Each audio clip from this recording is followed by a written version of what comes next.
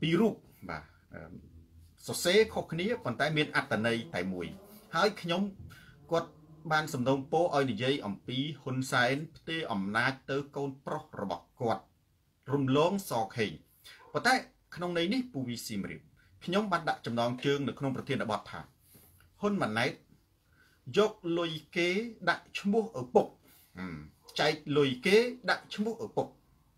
ហ៊ុនសែនប្រគល់ អំណាចឲ្យកូនខុសច្បាប់ទាំងអស់បាទអញ្ចឹងប្រិយមិត្តនេះគឺជាប្រធានបទទី1ប្រធានបទក្តៅណានេះប្រធានបទទី2ក៏ជាប្រធានបទក្តៅដែរនិយាយអំពីការបិទប្រទេសដើមខ្នោតនេះបូរ៉ែនសឺបិទប្រទេសមានពីរបែបទី1បិទឲ្យខ្ចល់ដកដង្ហើម ទី2បិទដង្ហើមផាន់សុមនីណាថប់ស្លាប់តែម្ដងអញ្ចឹងប្រិយមិត្ត មានន័យយ៉ាងដូចម្ដេចមុននឹងឈានចូលទៅដល់ការបកស្រាយនៅប្រធានបទទាំងពីរនេះសារជាថ្មីម្ដងទៀតសេឡាវ៉ាន់ share វីដេអូនេះទៅកាន់ប្រិយមិត្តដទៃទៀតមនុស្សកំសត់ទូរទស្សន៍សនតារាឌីណាកំពង់ចាមស្រាតខោជន់ផ្ដាច់ការផ្លាស់ប្ដូរផ្នែកកំណត់ថ្ងៃនេះក៏មានណាច័ន្ទប៊ុនថនមាន សំណួរពីរដែរសម្រាប់គ្រឿងខ្លែងហើយខ្ញុំសូមលើកយកសំណួរទាំងពីរនេះដូចតទៅសំណួរទី1មានបងប្អូនយើងម្នាក់ ដែលមិនមែនជាគណៈបកប្រជាជននិងមិនមែនជាអាយ៉ងជួងឬក៏អតបអតញ្ញទេបេះដូងពណ៌ខ្មៅតំណងជាអ្នកតាមដាន ទូរទស្សន៍សូនតារាធម្មតាដែលខ្ញុំមើលទៅតាមភាសារបស់គាត់បុនិទុនគាត់សួរថាលោកគ្រូថាហ៊ុនសែនឆ្លងកូវីដ -19% ពីដំបូងខ្ញុំមានការសង្ស័យ ប៉ុន្តែខ្ញុំស្ដាប់លោកគ្រូទៅ ហើយមើលសភាពការខ្ញុំជឿលោកគ្រូហើយថាហ៊ុនសែនឆ្លងកូវីដ -19% ប៉ុន្តែខ្ញុំចង់សួរថាតារាយឹមវិញស្រុនបើសម្ដេចឆ្លងហេតុអីចាំបាច់លាក់ពីព្រោះដូចជាដូណាល់ត្រាំប្រទេសមហាអំណាចប៉ុណ្ណាណីមិនលាក់ផង ដូចជាបូរីចនសុន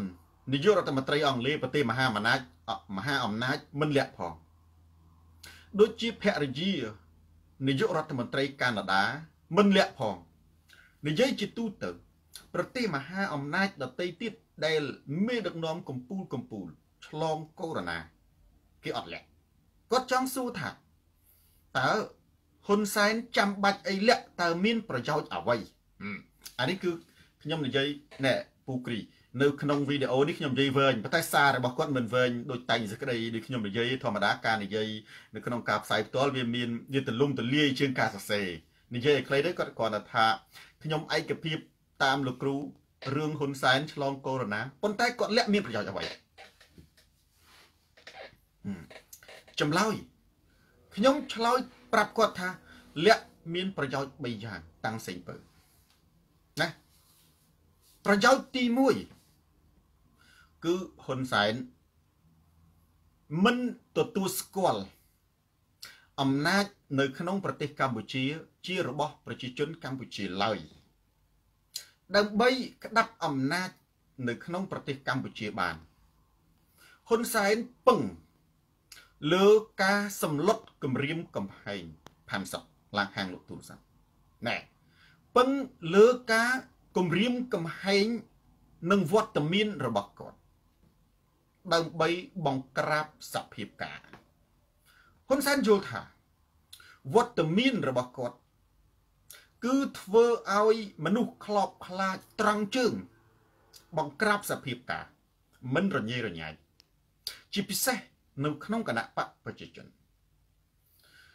បើសិនជា មនុស្សដឹងថាហ៊ុនសែនឆ្លងកូវីដ -19 គឺធ្វើឲ្យមនុស្សកញ្ជ្រោលទឹកចិត្តមានមនុស្សជាច្រើនដែលត្រេកអរអានេះខ្ញុំនិយាយតាមបែបវិទ្យាសាស្ត្រខ្ញុំមានថាមានមនុស្សជាច្រើនដែលត្រេកអរទៅទៀតខ្ញុំចូលដល់សំណួរទី2វាពាក់ព័ន្ធអាហ្នឹង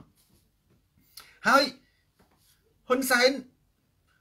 នឹងលំបាកនៅក្នុងការគ្រប់គ្រងអំណាចនិងសភាពការដូច្នេះប្រយោជន៍ទី1នេះគាត់ត្រូវតែលាក់ មិនត្រូវឲ្យនរណាដឹងថាគាត់ឆ្លង ហើយកំពុងតែសម្រាកនៅក្នុងមន្ទីរពេទ្យឬក៏សង្គ្រោះបន្ទាន់នៅក្នុងផ្ទះឡើយប្រយោជន៍ទី2គឺនៅលើពិភពលោក ជាទ្រឹស្ដីទូទៅ ជនផ្ដាច់ការនៅលើពិភពលោក តែងតែមានអត្តកម្បាំងតែងតែលាក់ការទ្រឹស្ដីរបស់ប៉ុលពត ដែលជាមេរបស់សម្ដេចតេជោកាលពីអតីតកាលបងប្អូនប៉ុលពតអៀងសេរីខៀវសំផនកាលពីអតីតកាលគឺជាមេរបស់ហ៊ុនសែនអាហ្នឹងព្រោះហ៊ុនសែនគាត់ជាយុទ្ធជនរបស់ខ្មែរក្រហម ហើយត្រូវពួកខ្មែរក្រហម គ្នាគាត់បែកបាក់ផ្ទៃក្នុងដេញសម្លាប់គាត់រត់ទៅស្រុកយួនអញ្ចឹងបងប្អូនមានដឹងទេសាលីនតាន់ណែដាលីទ្រឹស្ដីរបស់ប៉ុលពតមួយឃ្លា លក្ខការបានខ្ពស់រស់បានយូរបើបងប្អូនអត់ដឹងសូវីយ៉ាសៅដឹងនៅថ្ងៃនេះទ្រឹស្ដីកុម្មុយនីសផ្ដាច់ការគេនិយាយថាអញ្ចឹងលក្ខការបានខ្ពស់ East Enterprise លក្ខការខ្ពស់រស់បានយូរណាសាទមានអញ្ចឹងហ៊ុនសែនគាត់ចេញមកពីខ្មែរក្រហមគាត់រៀនឆ្អិនឆ្អៅជាមួយនឹងទ្រឹស្ដីកុម្មុយនីស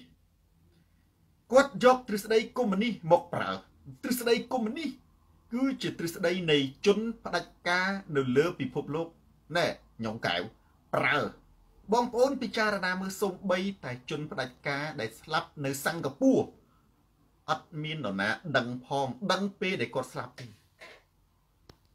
ណាសំទោសប្រិយ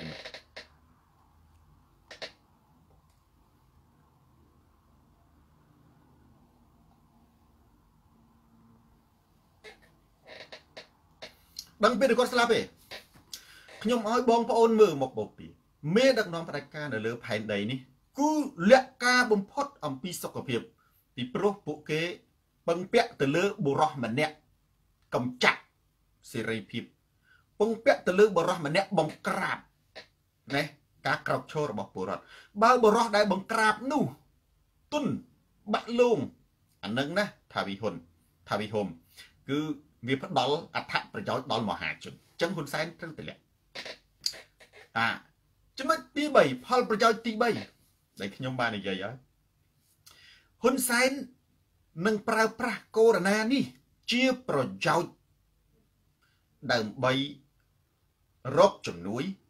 ណាដើម្បីបំបត្តិសេរីភាព និងដើម្បីបំបត្តិសេរីភាព ដើម្បីរកជំនួយ និងដើម្បីកាត់ប្រាក់ខែអានឹងខ្ញុំសូមមិននិយាយម្ដងទៀតទេព្រោះខ្ញុំធ្លាប់និយាយម្ដងហើយតាខាយាយជានឹងនិយាយម្ដងនៅក្នុងប្រធានបទទី2ដែលព្រោះនេះវាភ្ជាប់ទៅនឹងប្រធានបទទី2អញ្ចឹងមូលហេតុដ៏សំខាន់គឺ2អា3ហ្នឹងគឺយើងបាននិយាយច្រើនដងគឺនៅក្នុង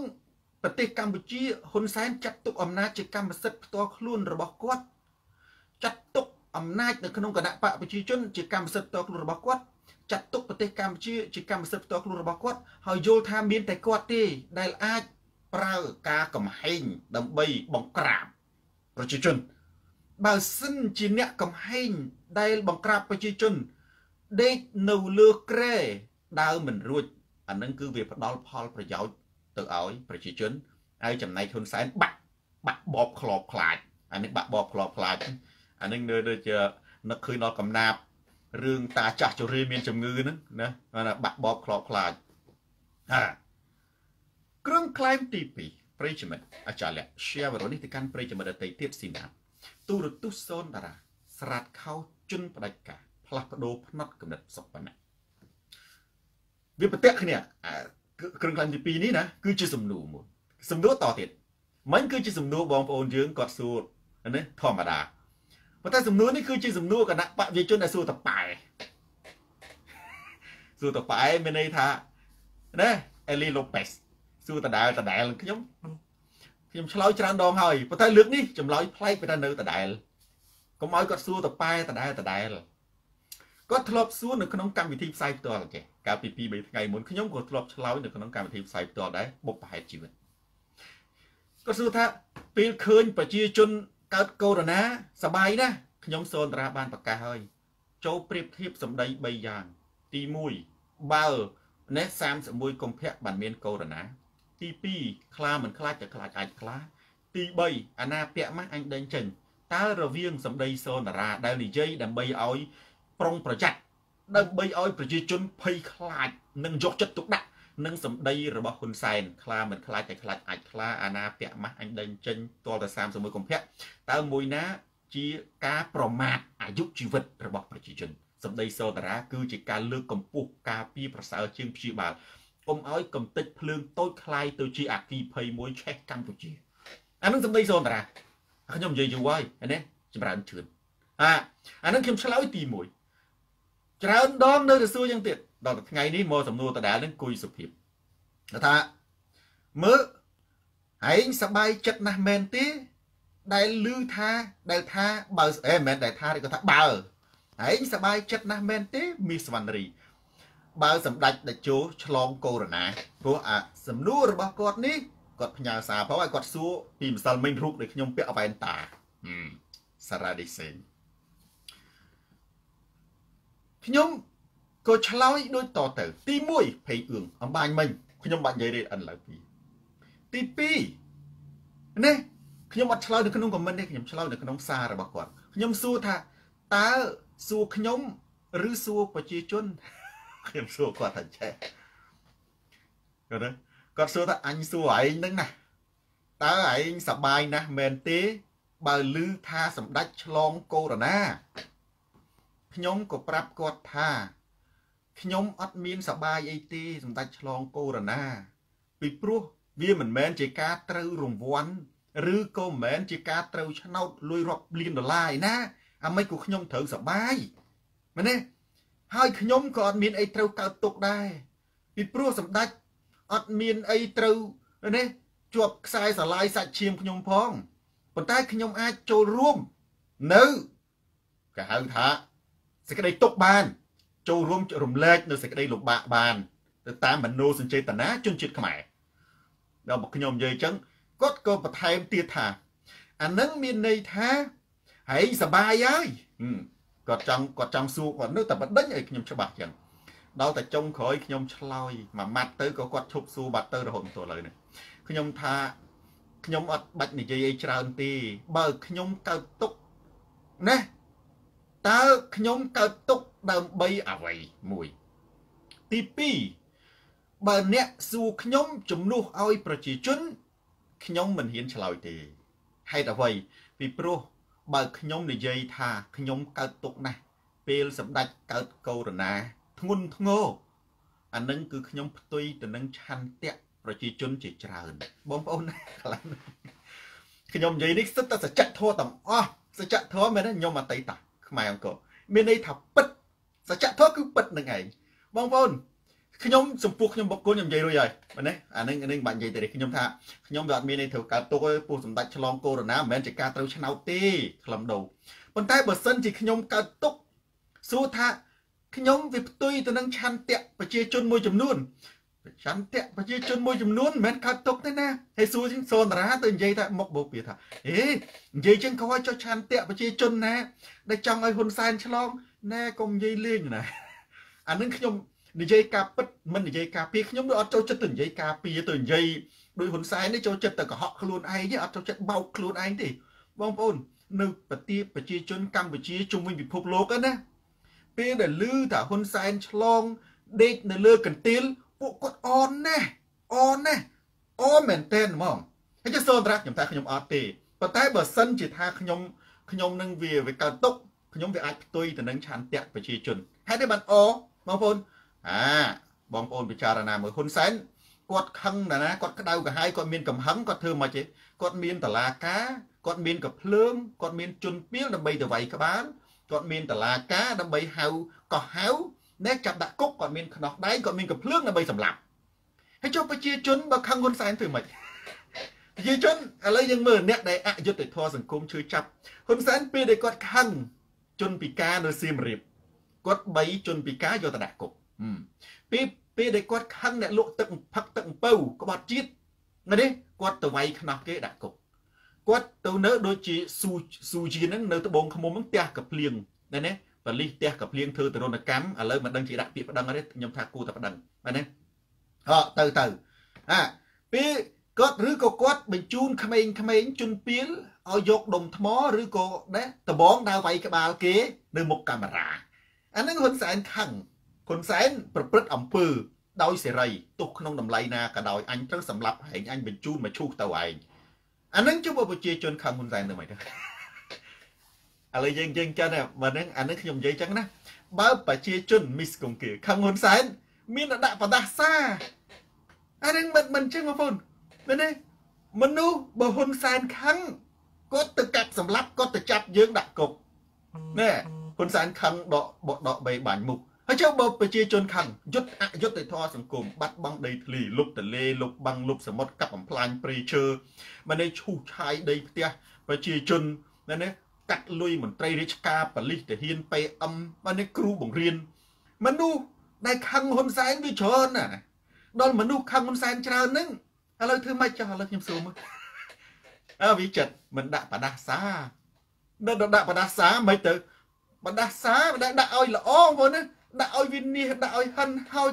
ដាក់ឲ្យបកាច់បកិនណាហុកជាងអាន ដាក់ឲ្យជូនមូញណាដាក់ឲ្យបរ៉ែតតាំងប៉ោណាដាក់ឲ្យវិនិច្ឆ័យអន្តរាយហើយចុះបើហ៊ុនសែនវិនិច្ឆ័យអន្តរាយអានឹងប្រជាជនមិនអបងប្អូនអារឿងដាក់បដាសាងស័ក្តិសិទ្ធណាជាពិសេសខ្ញុំរំលឹកឡើងវិញ ឆ្នាំ0នៅអាមេរិករឿងពួកឥណ្ឌាស្បែកក្រហមឥណ្ឌាដែលពួកអាមេរិកជនជាតិដើមអាមេរិកដើមកំណើតណាម្ចាស់ទឹកម្ចាស់ដីប្រទេសអាមេរិកបច្ចុប្បន្នហ្នឹងគឺនៅពួកស្បែកសវាទៅវាយកាន់កាប់ទេ ជាពិសេសពួកមកទៅពីអឺរ៉ុបទៅពួកអង់គ្លេសពួកបារាំងពួកអេស្ប៉ាញអីហ្នឹងណាវាយកាន់កាប់ប្រទេសអាមេរិកបច្ចុប្បន្នហ្នឹង តែជនជាតិដើមនៃប្រទេសអាមេរិកហ្នឹងគឺពួកឥណ្ឌាក្រហមគេហៅថាឥណ្ឌាក្រហមឬក៏ Native America គឺពួកនៃឥណ្ឌាស្បែកអាមេរិកកាំងដើមពួកនោះវាធ្វើអត់កើតវាដាក់បដោះសារវាដាក់បដោះសារប្រធានាធិបតីណាឲ្យតែឆ្នាំគត់ប្រធានាធិបតីណាដែលកាន់អំណាចនៅឆ្នាំគត់គឺដឹងតែវិនិច្ឆ័យហ្មង បងប្អូនមើលប្រវត្តិសាស្ត្រអាមេរិករហូតមកទល់បច្ចុប្បន្នអត់ទាន់ខុសទេអត់ទាន់ខុសមានបងប្អូនយើងថាលោកគ្រូតារាសាស្ត្រលោកគ្រូព្យាករអត់ខុសទេនេះរឿងនៅសហរដ្ឋអាមេរិកឲ្យទៅដល់ឆ្នាំគត់ប្រទេសអាមេរិកនឹងជួបអន្តរាយម្ដងបើមិននយោបើមិនមេដឹកនាំត្រូវគេសម្លាប់គឺមេដឹកនាំនោះស្លាប់ដោយជំងឺបងប្អូនណាអ្នកដែលកាន់អំណាចឆ្នាំគត់នៅអាមេរិកណាតាំងពីដើមមកបើមិនមេមាន3បើមិនមេដឹកនាំត្រូវគេសម្លាប់គឺស្លាប់ដោយជំងឺ ឬក៏ត្រូវប្រទេសនឹងជួបគ្រោះធំឥឡូវឆ្នាំគត់អាមេរិកជួបគ្រោះធំអាមេរិកជួបគ្រោះធំកូវីដ -19 នេះអារឿងបែកបាក់នេះឆ្លោះគ្នាប៉ុណ្្នឹងទៅអានឹងគឺវាត្រូវមានម្ដងប្រទេសវាតតែមានម្ដងអញ្ចឹងនៅនេះវាអត់អាចទៅសុកសុកសុកឲ្យវាម្ដងឬលំហាត់ត្រូវឲ្យប្រទេសដែលមហាអំណាចនេះដោះស្រាយលំហាត់នឹងឡើងវិញអញ្ចឹងបងប្អូនណាដែលខ្ញុំនិយាយឲ្យសរុបសេចក្តីមកគេថាចុះបើហ៊ុនសែនណាសវណ្ណរាខឹម កើតនឹងសូនតារាសបាយអត់ខ្ញុំចំពោះបុគ្គលខ្ញុំផ្ទាល់ខ្ញុំថាមិនមែនហ៊ុនសែនកើតរោគនឹងខ្ញុំត្រូវឆ្នោតទេប៉ុន្តែបើថាខ្ញុំកើតទុកប្រឆាំងទៅនឹងឆន្ទៈរាជច្រើនណាស់បងប្អូនខ្ញុំនិយាយការពិតគឺអញ្ចឹងអាសួររមិចអញ្ចឹងបងប្អូនបើហ៊ុនសែនគាត់ខឹងណាគាត់មានកភ្លើងគាត់មានគុកមានខ្នោះច្បាក់ដើរបាញ់កាប់ចាក់កាប់សម្លាប់គេនេះហើយយកបងប្អូនខឹងហ៊ុនសែនធ្វើម៉េចទៅវាយហ៊ុនសែនកើតទៅចូលម៉ានផងបងប្អូនណា សំបីនៅក្បែរផ្ទះហ៊ុនសែន100ម៉ានបងប្អូនចូលម៉ានផងធ្វើម៉េចមានតែអុចធូកបន់ដាក់បតាសាឲ្យវិនិច្ឆ័យអន្តរាយណាប្រូហេងហើយចុះបើហ៊ុនសែនវិនិច្ឆ័យអន្តរាយប្រជាជនណាដែលកើតទុកបងប្អូនប្រជាជននៅក្នុងប្រទេសកម្ពុជាណាហើយអ្នកដែលដឹងច្បាស់ជាងគេសុផលយុសបុផលយុសអ្នកដែលដឹងច្បាស់ថាពេលដែលខ្លួនអន្តរាយទៅមនុស្សមនុស្សចាក់ធុងបាសជប់លៀងគឺហ៊ុនសែននឹងបើហ៊ុនសែនគាត់ដឹងច្បាស់ ថាប្រជាជននឹងស្រឡាញ់គាត់គាត់ទៅរំលាយគណៈបកសង្គ្រោះជាតិទៅអីអឿនសុផលមូលហេតុដែលគាត់រំលាយគណៈបកសង្គ្រោះជាតិណែអក្សរថៃដោយសារតែហ៊ុនសែនដឹងច្បាស់ថាបបោះឆ្នោតទៅប្រជាជននឹងគឺអត់បោះឲ្យគាត់ទេគាត់លាឲ្យកម្ពុជាអញ្ចឹងប្រិយមិត្តចិនបាន share បរិយាទៅកាន់ប្រិយមិត្តដទៃទៀតទូរទស្សន៍សូនតារាចំផាតសង្គ្រោះជាតិស្រាតខោជន់ផ្ដាច់ការផ្លាស់ប្ដូរផ្នត់កំណត់រឿង ដ៏គួរឲ្យអស់សំណោចមួយតែនៅក្នុងប្រធានបទទី1នេះគឺវាបែកវាពុះចេញជាពីរប៉ុន្តែពាក់ព័ន្ធទៅនឹងហ៊ុនម៉ាណែតដូចគ្នា ដែលខ្ញុំនិយាយថាហ៊ុនម៉ាណែតយកលុយគេដាក់ឈ្មោះឪពុកខ្ញុំបានប្រើពាក្យមួយសុកសុបិនណាតារាចន្ទ្រីថាបើមិនខ្មាស់គេគង់ខ្មាស់ខ្មោចផងបើមិនខ្មាស់គេកុំខ្មាស់ខ្មោចផង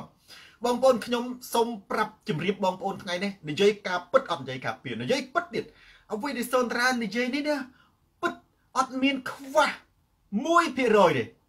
បើមិនចឹងបើកណានិយាយបែបវិទ្យាសាស្ត្រគឺអត់មានខ្វះ1%ទេ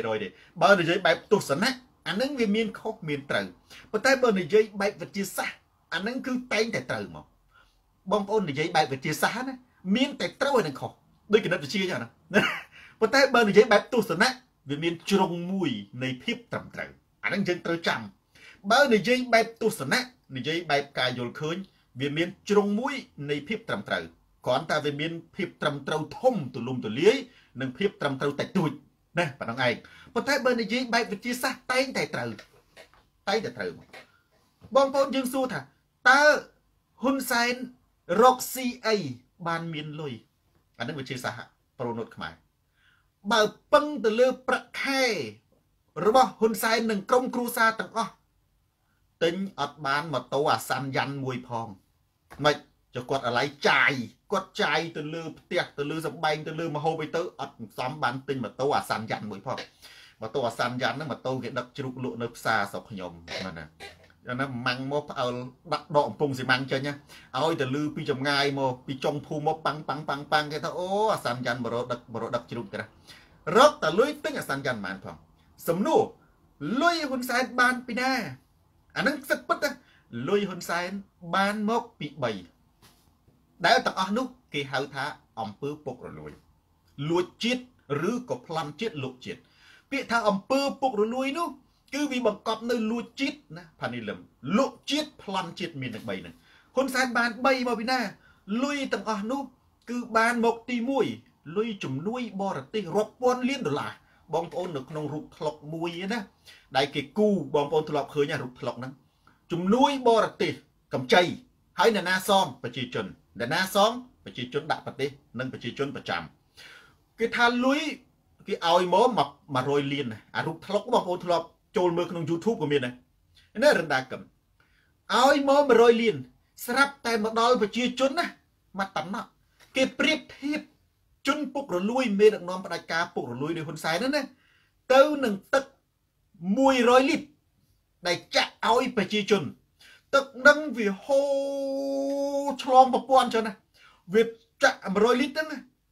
ឧទាហរណ៍ថា100លីត្រហ្នឹងគឺជាលុយ100លានដុល្លារចុះគៀងលី ចាក់មកនឹងថាវាទើនៅហ៊ុនសែនអស់វានៅសល់ប្រហែល1លីត្របងប្អូនណា1លីត្រហ្នឹងគឺតម្លាក់ឲ្យប្រជាជនតម្លាក់ហ្នឹងគឺវាហូរអាលុយនេះវាហូរកាត់កាត់ប្រព័ន្ធហ៊ុនសែនណាកាត់មកក្រសួងកាត់មកខេត្តកាត់មកមន្ទីរគឺស៊ីទាំងអស់ដែលខ្មែរយើងគេហៅថាផឹកទឹកដងអូមែនទេផឹកទឹកដងអូក្បែរជើងភ្នំតូចស៊ីតាមតូចធំស៊ីតាមធំ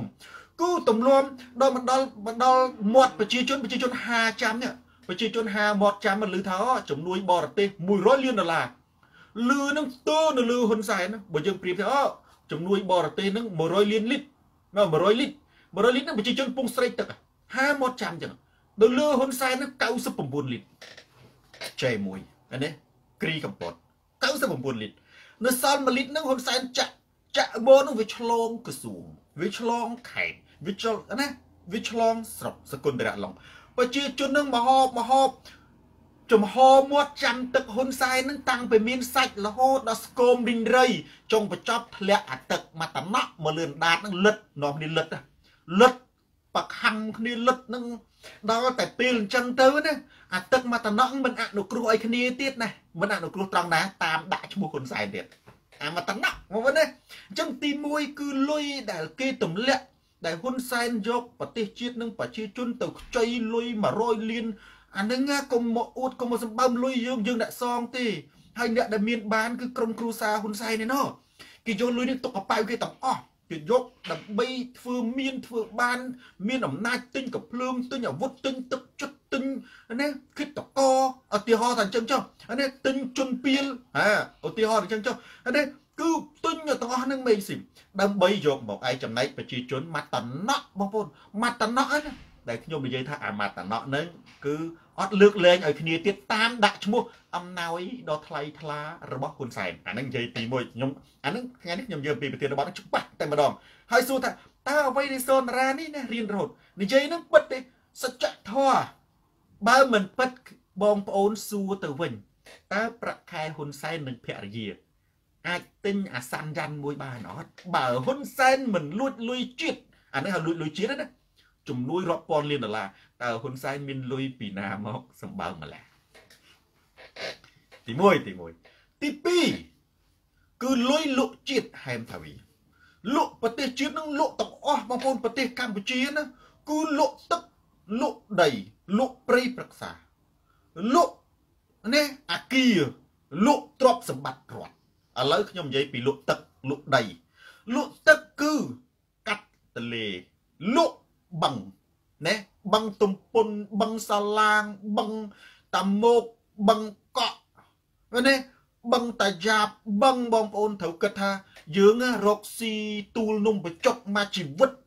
រកស៊ីមកពូជមាន7គ្រួសារទិញនំបញ្ចុកមិនស្មើនឹងហ៊ុនសែន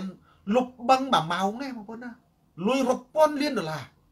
អានឹងស៊ីទឹកលុបទឹកគឺលុបបឹងទាំងអស់លុបទលេលុបសមុទ្រលុបសមុទ្រឲ្យបរទេសគឺចឹងចុះនេះលុបដីលុបដីនៅក្នុងប្រទេសកម្ពុជា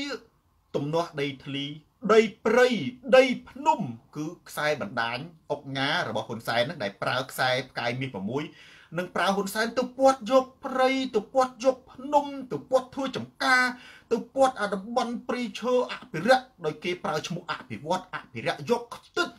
នៅខេត្តមណ្ឌលគិរីខេត្តរតនគិរីមួយដែលជាខេត្តខ្មែរលែងមានទៅជាកម្មសិទ្ធិរបស់ប្រជាជនកម្ពុជាភ្នំនៃខេត្តទាំងមូលសិតតែគេបោះបកគោលយកទាំងអស់អានឹងគឺបើអ្នកនោះមិនមែនជាគ្នាហ៊ុនសែនតែអាចទៅយកដីនឹងបានទេហ៊ុនសែនគាត់សារភាពចំចំគាត់តែប្រកែកហ្នឹងអានឹងគេហៅលក់ទឹកលក់ដីលក់ព្រៃអត់បាច់និយាយអាហ្នឹងប្រទេសកម្ពុជាណាចំផាតសង្គ្រោះជាតិណា បូរៈស្មីគឺអស់ហើយព្រៃឈើបាច់និយាយទេបច្ចុប្បន្ននេះគឺណែដូចសាយសំអាលហ្នឹងណាសាយសំអាលហ្នឹងគេទៅថតស្មៅទេគេថតពពកបាំងស្មៅគេថាអូទេសភាពនៅទស្សនភាពនៅមណ្ឌលគិរីស្អាតណាស់ស្អាតស្មៅទេណា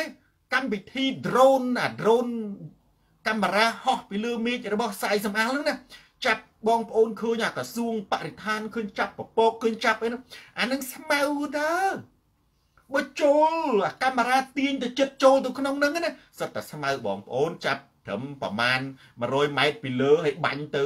លើពពកហ្នឹងបាំងពពកខ្លះខ្លះទៅចាប់ចំការកស៊ូអាហ្នឹងចំការកស៊ូទៅមិនមែនព្រៃឈើណាមែនទេសត្វតែស្មៅទេចូលទៅដល់ហ្នឹងឃើញខៀវចំការណែខ្សែសំអល់គាត់ចាត់ទុកដូចជាអំពៅគាត់ចាត់ទុកដូចជាកត្រាំបៃស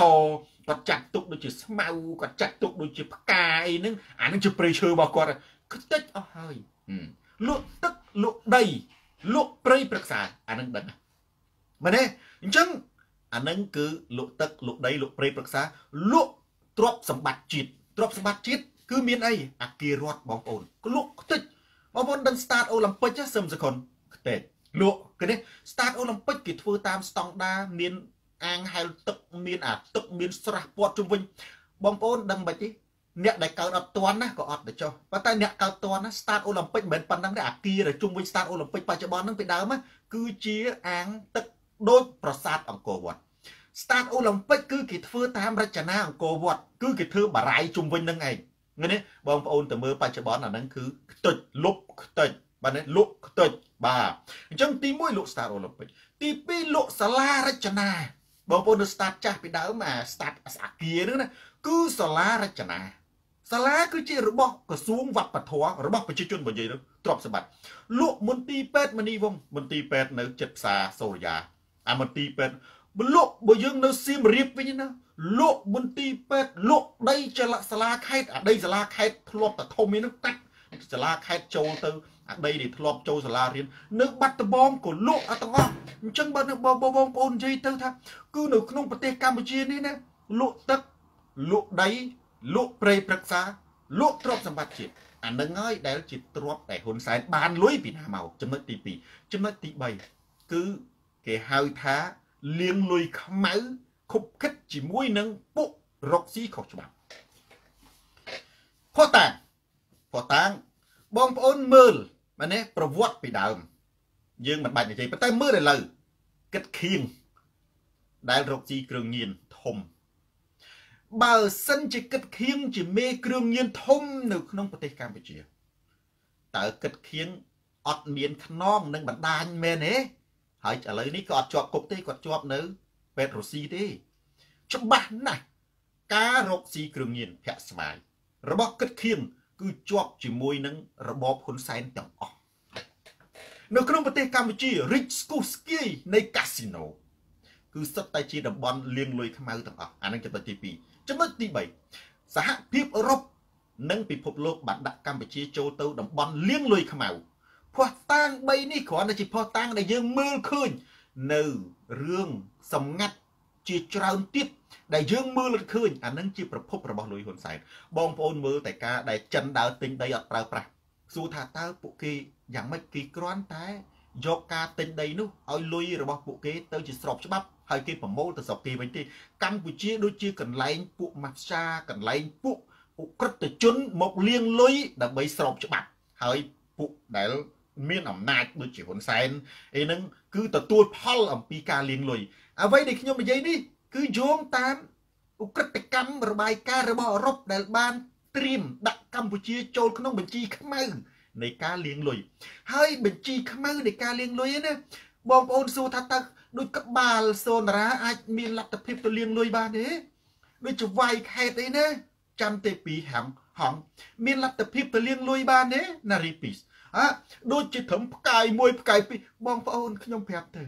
មែនទេអ្នកដែលអាចឲ្យដីបើកកាស៊ីណូអ្នកដែលអាចលាងលុយរាប់ពាន់លានដុល្លារបាន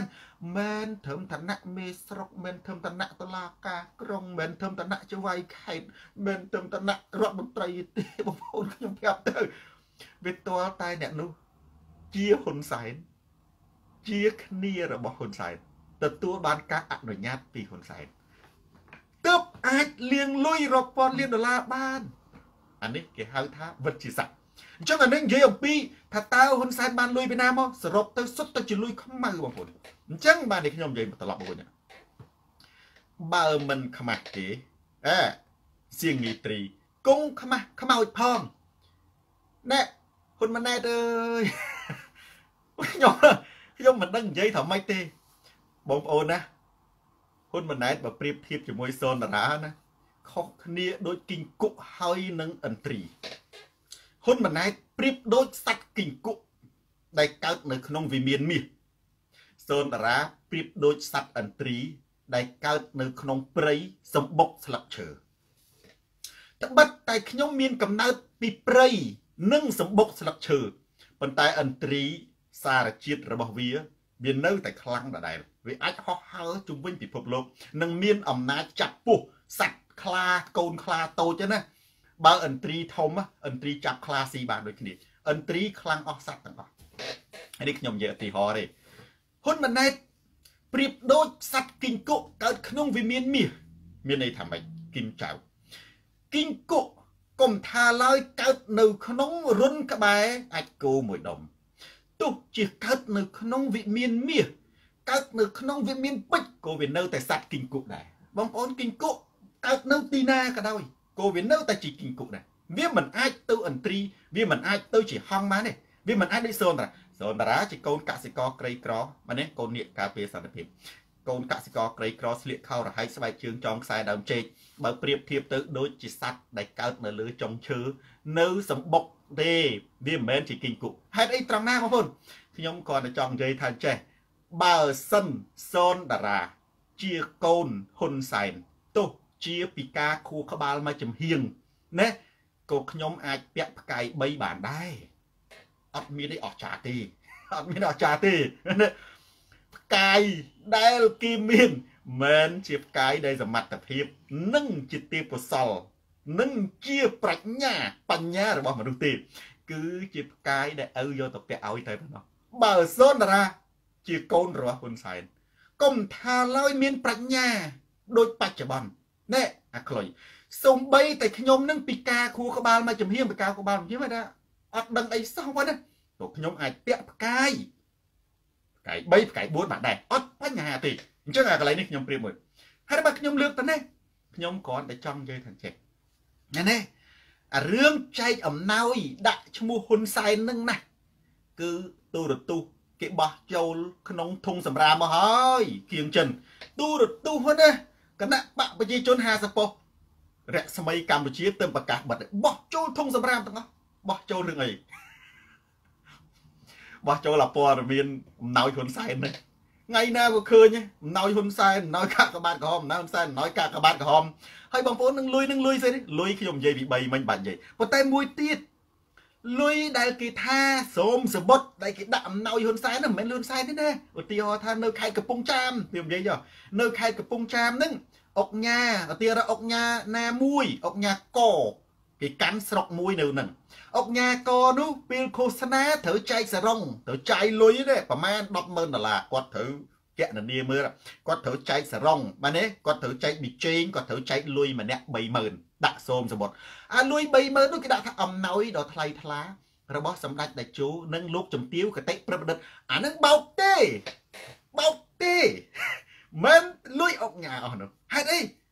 តែនៅក្នុងប្រទេសកម្ពុជាថាលុយនរណាក៏ដាក់ហ៊ុនសែនដែរចាញ់សូនតារាខ្ញុំប្រាប់ថាចេះណែហ่าហេងហេងជីរ៉ាហ្វសូនតារាហ្នឹងណាមិនអត់ចេះធ្វើបុណ្យទេធ្វើបុណ្យច្រើនខ្ញុំថតផងខ្ញុំមិនដែលមិនទាំងដឹងមិនជួនកាលខ្ញុំប៉ាវនំបញ្ចុកពូមីងយាយអីហ្នឹងខ្ញុំជិះកាត់ផ្លូវខ្ញុំចូលលេងឃើញ ឈប់តាមកន្លែងណានៅស្រុកខ្មែរហ្នឹងមាននំបញ្ចុកឃើញបងប្អូនមកតុកណាហូបគិតលុយខ្លួនឯងម៉ាននំចុកមួយចាន3000ដល់មួយចាន3000ខ្ញុំឃើញចាស់ចាស់ហើយនឹងក្មេងៗនៅតុកនោះចំប្រហែលអ្នកសរុបមើល5អ្នកហ្នឹង3 5នោះដល់55000គឺទាំងអស់ខ្ញុំដើរទៅបាច់អត់ទាំងដែលដឹងផងអត់ទាំងបាច់ឈ្មោះខ្លួនឯងមិនទាំងដែលប្រាប់ថាអូលោកគ្រូក្មួយអរគុណតែអូយមិនបាច់ទេណែនេះមានតែព្រះមើលទៅបានមនុស្សមិនបាច់មើលទេដាក់បន្ទុកគាត់បានទៅសុបាយអាហ្នឹងអូបានណា អាហ្នឹងណាគឺចំណុចទី1បងប្អូនត្រូវចាំថាលុយទាំងអស់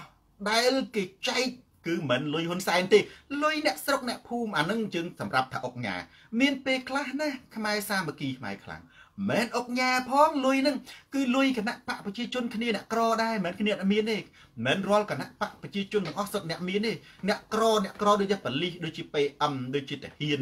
នេះល្មមល្មមហ្នឹង គេមានក្រុមការងារនៅឃុំមួយគេឲ្យកាន់ឃុំមួយលុយទាំងអស់ហ្នឹងណាគេរៃអំពីបលិសរៃអំពីតាហ៊ានគេកាត់ប្រាក់ខែម្នាក់មួយលានឧទាហរណ៍ទៅអូមេមេផ្កាយ2អានេះមេមេផ្កាយ2ផ្កាយ1អញ្ចឹងទៅប៉ុណ្ណេះអ្នកសាក់មួយហ្នឹងគេកាត់20ម៉ឺនអញ្ចឹងទៅសាក់2គេកាត់ប៉ុណ្ណេះអានេះព្រោះអានឹងគណៈបព្វជិជនតាមរដូវហ្នឹងគេកាត់លុយជួយគេប្រមូលលុយទាំងអស់ប្រមូលលុយពីប៉ូលីសប្រមូលលុយ PM ឃុំ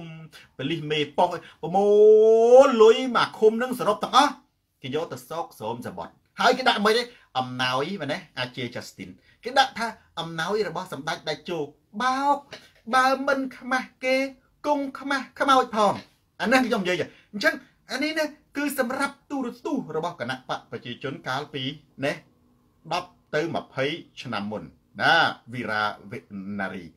ក្រោយមកទៀតឥឡូវនេះហ៊ុនម៉ាណែតគឺត្រូវបានឪពុកយកគំរូនៅអំឡុងពេលដែលគេដឹងមកហើយ គេដឹងថាអាលុយទាំងអស់ហ្នឹងមិនមែនលុយរបស់ហ៊ុនសែនទេគឺលុយណែដែលប្រជាជន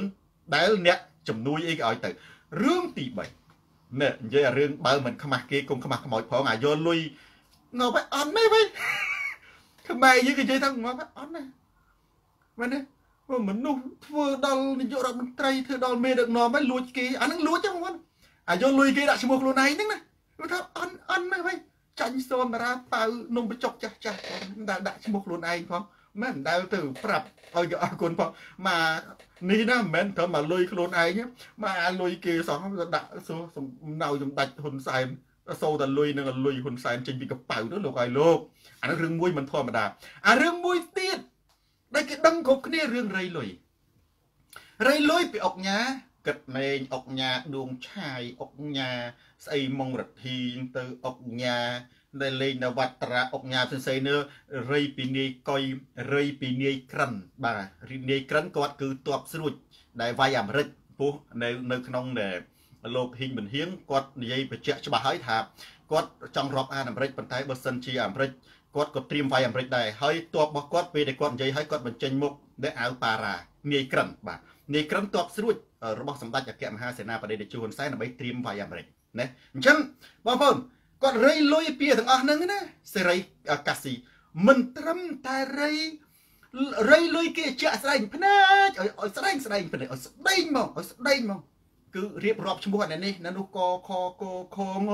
ស្រាប់តែយកលុយហ្នឹងយកទៅឲ្យយកលុយទៅឲ្យប្រជាជនណាអំណោយរបស់សម្ដេចដាច់ជោនឹងលោក ជំទាវកតិព្រឹទ្ធបណ្ឌិតខ្ញុំថាវអន់អន់នេះហីនេះនេះ អូលួចលុយគេគោឃ្លានឃ្លានម៉េះងាប់ហើយមកសម្បត្តិលុយមកប៉ុណ្្នឹងណាមកបោកបោកគេដល់ណាប្រជាជនស្មានគេមិនដឹងណាទី1វាអន់នោះអន់នេះទី2គេហៅថាថោកទៀបនោះថោកទៀបទី3វាថាអូឃ្លានឃ្លានមកមកអាលុយគេសោះ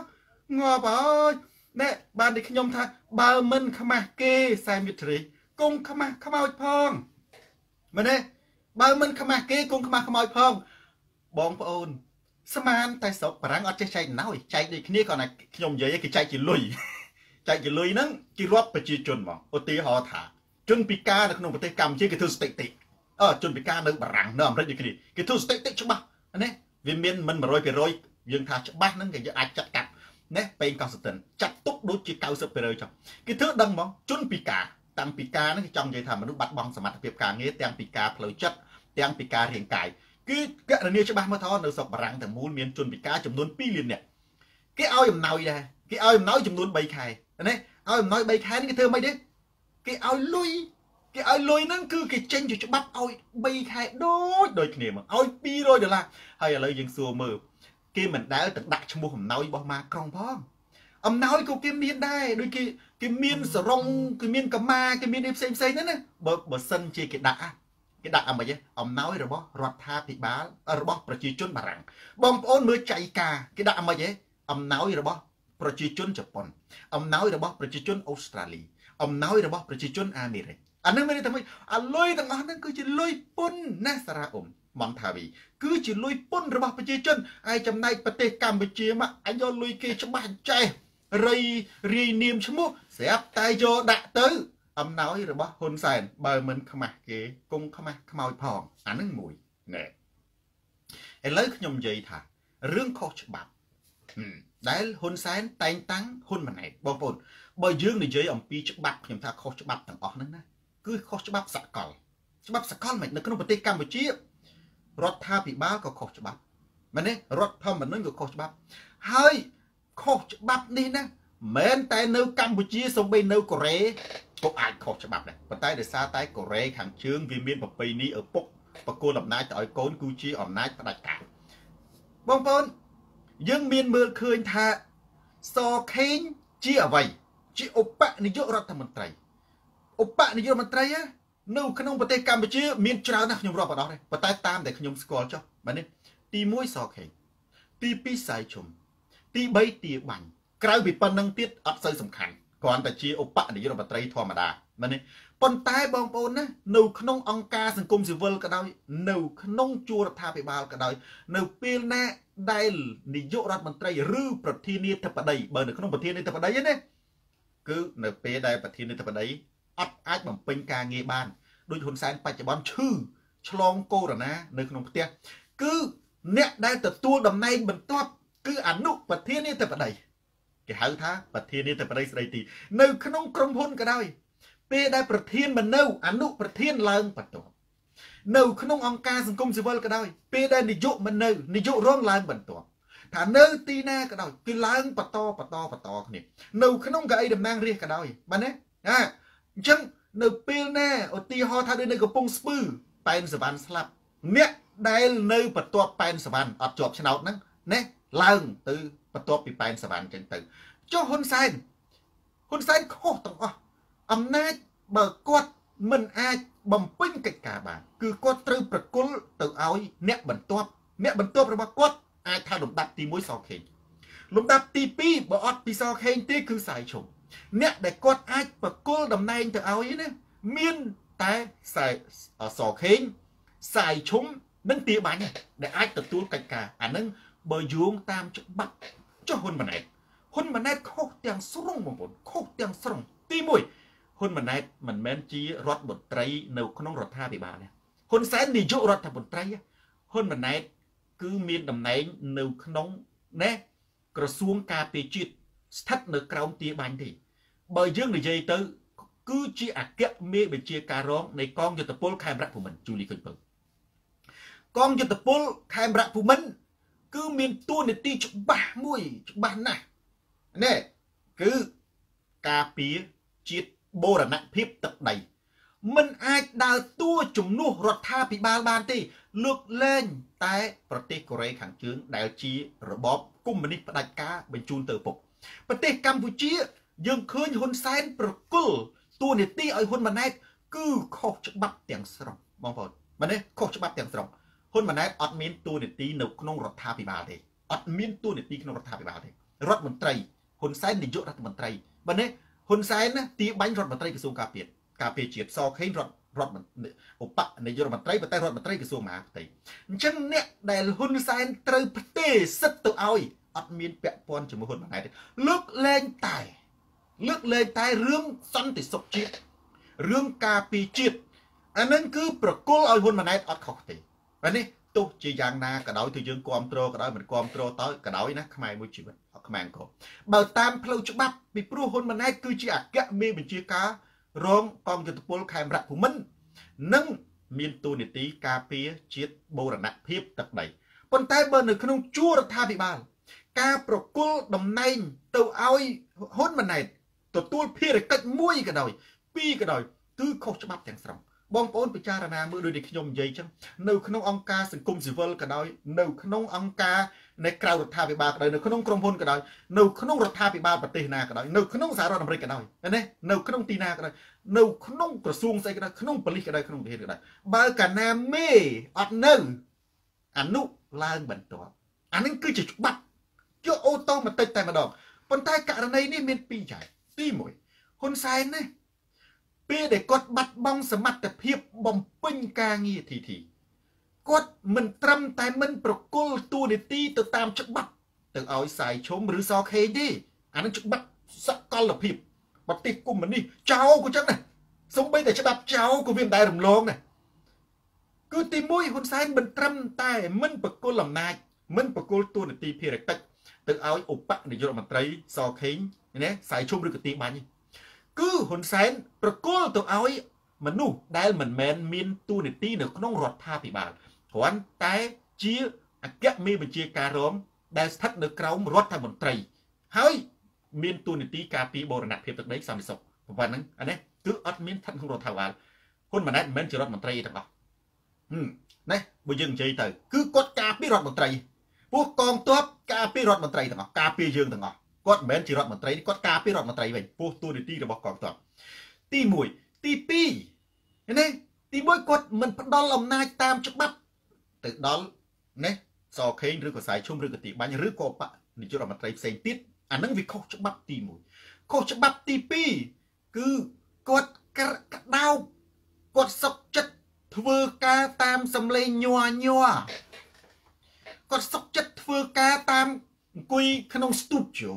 ថតសម្លេងអង្គុយផ្ញើអង្គុយមើល Facebook ប្រទេសកម្ពុជានឹងរលាយបើធ្វើការតាមសម្លេងទូរស័ព្ទ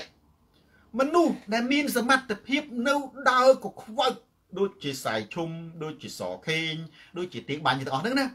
បែរជាមិនប្រើ ទៅប្រើសុកចិត្តដេកនៅលើក្រែចុចទូរស័ព្ទនិយាយកាត់តសំឡេងខ្ញុំសូមជម្រាបជូនថ្នាក់ដឹកនាំទាំងអស់ ឲ្យបានជ្រាបថាឥឡូវនេះគឺកូវីដ -19 វាយលុកទីក្រុងភ្នំពេញហេចុយចុះគេដឹងហើយអាហ្នឹងនោះណារឿងអីអាហ្នឹងចំណុចហ្នឹងណាចំណុចហ្នឹងគឺថាហ៊ុនសែនអោបអំណាចទាំងឈឺអោបអំណាចទាំងនៅលើកន្ទេលខ្មែរយើងភាសាភាសាសាមញ្ញគ្រីស្ទអោបអំណាចទាំងនៅលើកន្ទេលហើយបកគលមួយភាកតូចនេះមិនមែនប្រគល់ទៅតាមផ្លូវច្បាប់ទៅទៀតបកគលទៅឲ្យហ៊ុនម៉ាណែតអញ្ចឹងហើយប្រិយមិត្ត យើងមើលនៅក្នុងរដ្ឋាភិបាលខ្ញុំនិយាយនេះអត់មានស្អីនេះខ្ញុំនិយាយទៅតាមផ្លូវច្បាប់មួយគត់នៅក្នុងផ្លូវច្បាប់ប្រទេសណាក៏ដោយ UN ក៏ដោយស្អីក៏ដោយបើកាលណាមេមិននៅអាបន្ទាប់មេវាឡើង ស្វ័យប្រវត្តិបងប្អូនប៉ុន្តែហ៊ុនមិនហ៊ុនសែនបញ្ជាក់ថាកន្លែងនេះណានៅក្នុងគណៈបកប្រជាជនហ៊ុនសែនអត់ត្រូវជាមួយនរណាទេមនុស្សទាំងអស់ដែលតាមហ៊ុនសែនហ្នឹងណាដោយសាររឿង3យ៉ាងជាទស្សនៈរបស់ខ្ញុំបើកណ្ដាខ្ញុំនិយាយទស្សនៈវាមានខុសមានត្រូវ ទៅតាមការយល់ឃើញរបស់បងប្អូនតែតែយល់ឃើញរបស់ខ្ញុំមូលហេតុដែលនៅក្នុងគណៈបកប្រជាជនណាណាគេតាមហ៊ុនសែនណាទស្សនៈសូនរាមាន3យ៉ាងទី1ហ៊ុនសែនសាហាវណាណាបើសិនជាបើលេងមិនកើតបើស្ទើហ៊ុនសែនកាត់ក្បាលចោលគ្រោះថ្នាក់ដល់ជីវិតណាគ្រោះថ្នាក់ដល់ជីវិតអានឹងអញ្ចឹងនៅឲ្យស្ងៀមណាទី1បើលេងលេងឲ្យផុកហ៊ុនសែនអានឹងទស្សនៈសូនរាទេបងប្អូនឯកឯកភាពមិនឯកភាពអានឹងមិនមែនវិជាសាស្ត្រទេ នៅនេះមានចូលរួមចំណែកនៃការត្រូវទី2គឺគណៈបកប្រជាជន គេសន្សំសុកបើសិនជាណាឆ្លោះជាមួយហ៊ុនសែនវាអត់ប្រយោជន៍វាខាតទាំងអស់ពីព្រោះគណៈបព្វជិជនគឺជាបកកណ្ដាលអំណាចគេមិនមែនត្រូវហ៊ុនសែនទេប៉ុន្តែឆ្លោះជាមួយហ៊ុនសែនទៅវាខាតទាំងអស់គ្នាអញ្ចឹងគេសុកចិត្តនៅអញ្ចឹងដើម្បីកុំឲ្យខាតនយោបាយណានេះ ហើយចាំមើលហ៊ុនសែនដល់ត្រឹមណាគឺត្រឹមនឹងចុះគេមើលតែហ៊ុនសែនធ្លាក់ហ៊ុនសែនអុកគូតនានឹងចាំកែប្រែបុរក្នុងស្ថានភាពឥឡូវនេះបើលេងទៅគឺមើលទៅវាអត់វាខាតទាំងអស់ហ៊ុនសែនក៏ខាតអីក៏ខាតខាតទាំងអស់ចឹងគេអត់ចំណុចទី3នំមាននំស៊ីគណៈបកប្រជាជនមាននំនំត្រង់អីអំណាចនិងលុយនេះពួកគេបានតំណែងបានតំណែង ពួកគេមានលុយពួកគេមានអំណាចពួកគេ រស់នៅសេចក្តីសុខទៅលើការកេងប្រវ័ញ្ចប្រើអំណាចដើម្បីការពារទ្រព្យសម្បត្តិនិងបង្កើនទ្រព្យសម្បត្តិអញ្ចឹងបើពួកគេទៅឆ្លោះជាមួយហ៊ុនសែនណាគឺពួកគេបំផ្លាញខ្លួនឯងអាចំណុចហ្នឹង3ហ្នឹងហើយដែលធ្វើឲ្យហ៊ុនសែនធ្វើឲ្យធ្វើទៅគេខ្វល់ទេប៉ុន្តែមានចំណុចខ្លះក៏ត្រូវតែរាំងខ្ទប់ដែរឧទាហរណ៍ថាចង់ដាក់ហ៊ុនម៉ាណែតជាអនុប្រធាន គណៈបកប្រជាជនចង់ឲ្យហ៊ុនម៉ាណែតធ្វើរដ្ឋមន្ត្រីជំនួសទីបាញ់ដើម្បីទៅធ្វើនេះបានតំណែងជានាយករដ្ឋមន្ត្រីចង់ធ្វើចង់ធ្វើផ្សេងផ្សេងណាអានឹងគណៈបកអាចជំទាស់ប៉ុន្តែបើសិនជារឿងហ៊ុនសែនអនុសាសន៍ហ៊ុនសែនបកុលអំណាចទៅតាមផ្លូវច្បាប់ឬហ៊ុនសែនមិនបកុលអំណាចទៅតាមផ្លូវច្បាប់ណាអានឹងខ្ញុំយល់ថាជាទស្សនៈរបស់ខ្ញុំខ្ញុំយល់ថាមិនមែនរាល់គណៈបកប្រជាជនទាំងអស់ហ្នឹងណាឯកភាពជាមួយហ៊ុនសែនទេប៉ុន្តែដើម្បីប្រយោជន៍ ត្រូវតែបដ ாய் តាមហ៊ុនសែនទៅនិយាយខ្លីណាខ្ញុំនិយាយទាំង3 3ចំណុចប្រមាណហ្នឹងនិយាយពាក្យប្រមាថទេដើម្បីប្រយោជន៍គឺត្រូវតែតាមហ៊ុនសែនទៅណានេះបើព្រោះបើសិនជាប្រឆាំងនឹងហ៊ុនសែនគឺអត់ប្រយោជន៍ហើយមានគ្រោះថ្នាក់ដល់ជីវិតទៀតអត់បានទេអាហ្នឹងណាបងប្អូនមើលហ៊ុនសែនដែលខ្ញុំនិយាយត្រឡប់ទៅខាងដើមវិញដូចចរិតដូចប៉ុលពតគ្រាន់តែគាត់មិនសាហាវស្ដែងដូចប៉ុលពត ប៉ុលពតសម្រាប់ស៊ុនសេនបញ្ជាទៅសម្រាប់បាក់គ្រូសាណាដុតផ្ទះកិនមកគ្រូសាតែម្ដងណាឲ្យតែណាក្បត់ស៊ុនសេនគឺជាមនុស្សចំណិតរបស់ប៉ុលពតទី1ទី2អ្នកស៊ុនសេនក៏ថាចេះអាចារ្យ Justin អើប៉ុលពតក៏ថាលក្ខការខ្ពស់រស់បានយូរអានឹងទ្រឹស្ដីកុម្មុយនីហ៊ុនសែនដូចគ្នានេះបើអ្នកណែនៅក្នុងគណៈបដិជនសខេក៏ដោយសាយឈុំក៏ដោយចេញមុខជាចំហឧទាហរណ៍ ថាសម្ដេចធ្វើខុសច្បាប់ហើយហ៊ុនម៉ាណែតមិនមែនជារដ្ឋមន្ត្រីទេហ៊ុនម៉ាណែតគឺជាអ្នកការពាររដ្ឋមន្ត្រីទេអត់មានតួនាទីនៅក្នុងរដ្ឋាភិបាលទេអានេះចឹងអ្នកដែលត្រូវឡើងបន្តគឺអាចផ្សាយឈុំអាចសខេងឬក៏អាចទាញបាញ់ឧបនាយករដ្ឋមន្ត្រីនៅក្នុងការទទួលភារកិច្ចអញ្ចឹងការដាក់ឲ្យទៅកូនអានឹងគឺវាខុសច្បាប់នៅក្នុងគណៈបកប្រជាជនក៏ខុសនៅក្នុងរដ្ឋាភិបាលក៏ខុសបើមាននរណាចេញមកអញ្ចឹងណាមិនដូចសុនសែន គាត់តែហ៊ុនសែនគាត់មិនមែនទៅយកទៅបាញ់ចោលមកគ្រូសាយទេគាត់ទៅមានសំណុំរឿងពុករលួយអីចឹងទៅទីរសខេងត្រូវបានរកឃើញថាខុបខិតជាមួយនឹងអឺគិតខៀងចប់ហើយមានអីទៀតហើយមុនហ៊ុនសែនថាអញ្ចឹងណាគឺគាត់ពាត់ផ្ទះបាត់ហើយបើខ្ញុំគាត់ទៅប្រាប់ដល់ហ៊ុនសែនចាប់ណាហ៊ុនសែនអត់ឲ្យមានដីកាកោះទេអត់មាននិយាយទេអត់មាត់ទេចាប់ហើយបានមាត់តាមក្រោយប៉ុន្តែបើហ៊ុនសែនមាត់ហ៊ុនសែនឡូឡាហ៊ុនសែនកោះ អានឹងមានន័យថាហ៊ុនសែនបំភ័យឧទាហរណ៍ហ៊ុនសែនចង់ចាប់សខេងខ្ញុំឧទាហរណ៍នេះវាអត់អាចជាការពិតទេណាហ៊ុនសែនចង់ចាប់សខេងហ៊ុនសែនពាត់ផ្ទះអស់អាលេងហើយបង្ក្រាបដៃបង្ក្រាបជើងអស់ហើយបានគាត់និយាយតាមក្រោយគេថាកុំលេងជាមួយអញវើយមែនទេប៉ុន្តែបើហ៊ុនសែនថាអានឹងអត់ទេអេដែលខ្ញុំនិយាយថាបើហ៊ុនសែនធ្វើឡូឡាអានឹងហ៊ុនសែនភ័យអញ្ចឹងនៅក្នុងសមរភូមិដែលហ៊ុនសែនឡូឡាគឺយើងលេងអានឹងទៅគឺអត់មានខុសទេ ដែលបច្ចុប្បន្ននេះហ៊ុនសែនប្រើតឡាការនឹងការចាប់ដាក់គុកហើយគណៈបកសង្គ្រោះជាតិគិតមិនផុតពីថ្ងៃណាមួយដើរចូលគុកទាំងអស់គ្នានៅថៃនៅថៃមិនមែនគេមិនចង់ចាប់ដាក់គុកទេមិនប្រយុទ្ធច័ន្ទឧចាមិនចង់ចាប់បាតកោដាក់គុកគាត់វាច្រើនពេកនេះសម្បូរគុណខ្មែរហាណាផេតទីខ្ញុំនិយាយលេងកុំច្រឡំថាណាមេដឹកនាំនៅថៃមិនចង់ចាប់បាតកោដាក់គុកប៉ុន្តែចាប់អាម៉េចបើវាច្រើនពេកដោយសម្ដេចគាត់និយាយត្រូវរបស់គាត់ មាន ប្រសាសន៍ត្រូវគាត់ថាងើបមួយវាយមួយងើបពីរវាយពីរយើងវាចេះតែអត់គោរពតាមបទបញ្ជាដ៏ខ្ពង់ខ្ពស់ប្រកបដោយគតិបណ្ឌិតរបស់សម្ដេចអគ្គមហាសេនាបតីតេជោហ៊ុនសែនអត់គ្រប់យ៉ាងណាសម្ដេចប្រាប់ឯថានេះអញប្រាប់ឯងច្បាស់ហើយថាងើបមួយវាយមួយងើបពីរវាយពីរអញមិនបានប្រាប់ច្បាស់ថាងើបមួយលានវាយមួយលានណាចង្រៃយោអាម៉េចបានជាពួកឯងទាំងអស់គ្នាមិនព្រមងើបពីរលានអញថាងើបមួយវាយមួយងើបពីរវាយពីរ អញមិនបាននិយាយថាងើបមួយលានវាយមួយលានងើបពីរលានវាយពីរលានណានៅថៃមែនគេមិនចង់ចាប់បាត់តកដាក់គុកទេគាត់ទៅវាច្រើនពេកវាចាប់យកទៅឯណាបងប្អូនមូលហេតុដែលហ៊ុនសែនគម្រាមគឺបំបាក់កុំឲ្យវាច្រើនបើកណាច្រើនណាចាប់ឯណាយកណីទៅគុកឯណាវើយគុកនៅតាណាតាណីខ្លះបើលេងមួយលានមកហើយបើលេងពីរលានមកហើយអញ្ចឹងបងប្អូនត្រូវគោរពអនុសាសន៍របស់សម្ដេចកុំងើបមួយពីរថ្ងៃអនាគតឆាប់ឆាប់គឺយើងងើបមួយលានពីរលាន ហើយបើងើបមួយលានពីរលានហើយបងប្អូនអើយវាអស់ហើយវាមានស្អីទេបើនេះកងទ័ពប៉ូលីស PM អស់សិតមានខ្សែស្រឡាយទេដែលខ្ញុំថានៅក្នុងគណៈបកនៅក្នុងប្រទេសកម្ពុជាណាគ្រួសារមួយណាមានបកភាគច្រើន90%មានបក2គ្រួសារមួយបាទនេះដែលខ្ញុំថាបក2ហ្នឹងមិនមែនទាំងអស់ទេគាត់ណាចង់និយាយថាប្រៀបធៀបជាមួយបក2បក3គ្រួសារខ្លះមួយមានបក3ប៉ុន្តែបក2នៅមិនទេភាគច្រើនណាស់តាយាយឪពុកម្ដាយដឹងគណៈបព្វជិជនណា កូនកូននឹងផ្ទុយហ្មងហើយខ្ញុំនិយាយនេះអត់និយាយលេងទៅធ្វើទៅធ្វើដែលគេហៅថាស៊ើបអង្កេតស៊ើបអង្កេតមិនមែនស្អីខ្មែរយើងគេថាទៅធ្វើប្រជាមតិនេះស្រាវជ្រាវស្ទង់មតិធ្វើស្ទង់មតិបងប្អូនស្ទង់មតិសម្ងាត់នៅ ក្នុងប្រទេសកម្ពុជាខ្ញុំថា50%ពាក់កដាល50%គ្រួសារសុទ្ធ50%ណាក្នុងគ្រួសារមួយនិយាយតាម៉ែឪគណៈបព្វជិជនមកនិយាយតាម៉ែគណៈបព្វជិជនណានេះកូនចៅ ភាកច្រើនគណៈបកសង្គ្រោះជាតិមកអាហ្នឹងវាអញ្ចឹងអញ្ចឹងមានន័យថា នៅក្នុងប្រទេសកម្ពុជាណាបើសិនជាមនុស្សឡើងដល់2លានអ្នកក្រោកឈរហើយវិសិទ្ធតគណៈកូនចៅគណៈបកប្រជាជននឹងមាននានាទៀតសារៈអ៊ុំចឹងប្រិយមិត្ត share វីដេអូនេះទៅកាន់ប្រិយមិត្តដទៃទៀតទូរទស្សន៍សូនតារាស្រាតខោជន់ផ្ដាច់ការផ្លាស់ប្ដូរផ្នត់កំណត់យើងឈានចូលទៅដល់ប្រធានបទទី2គឺជាប្រធានបទមួយសំខាន់បាទប៉ុន្តែ និយាយខ្លីបាទប្រធានបទសំខាន់និយាយខ្លីទេតែថា5នាទីចុះរ៉ែងគីបិទប្រទេសមាន2ថា10នាទីចុះណែដែលខ្ញុំសរសេរច្បាស់ហើយប៉ុន្តែខ្ញុំបញ្យល់ស៊ីណាកាអូដទី1បិទឲ្យខ្យល់ដកដង្ហើមបិទប្រទេសប៉ុន្តែឲ្យខ្យល់ដកដង្ហើមអាលីសាម៉ាកាទី2បិទដង្ហើម ឲ្យថប់ស្លាប់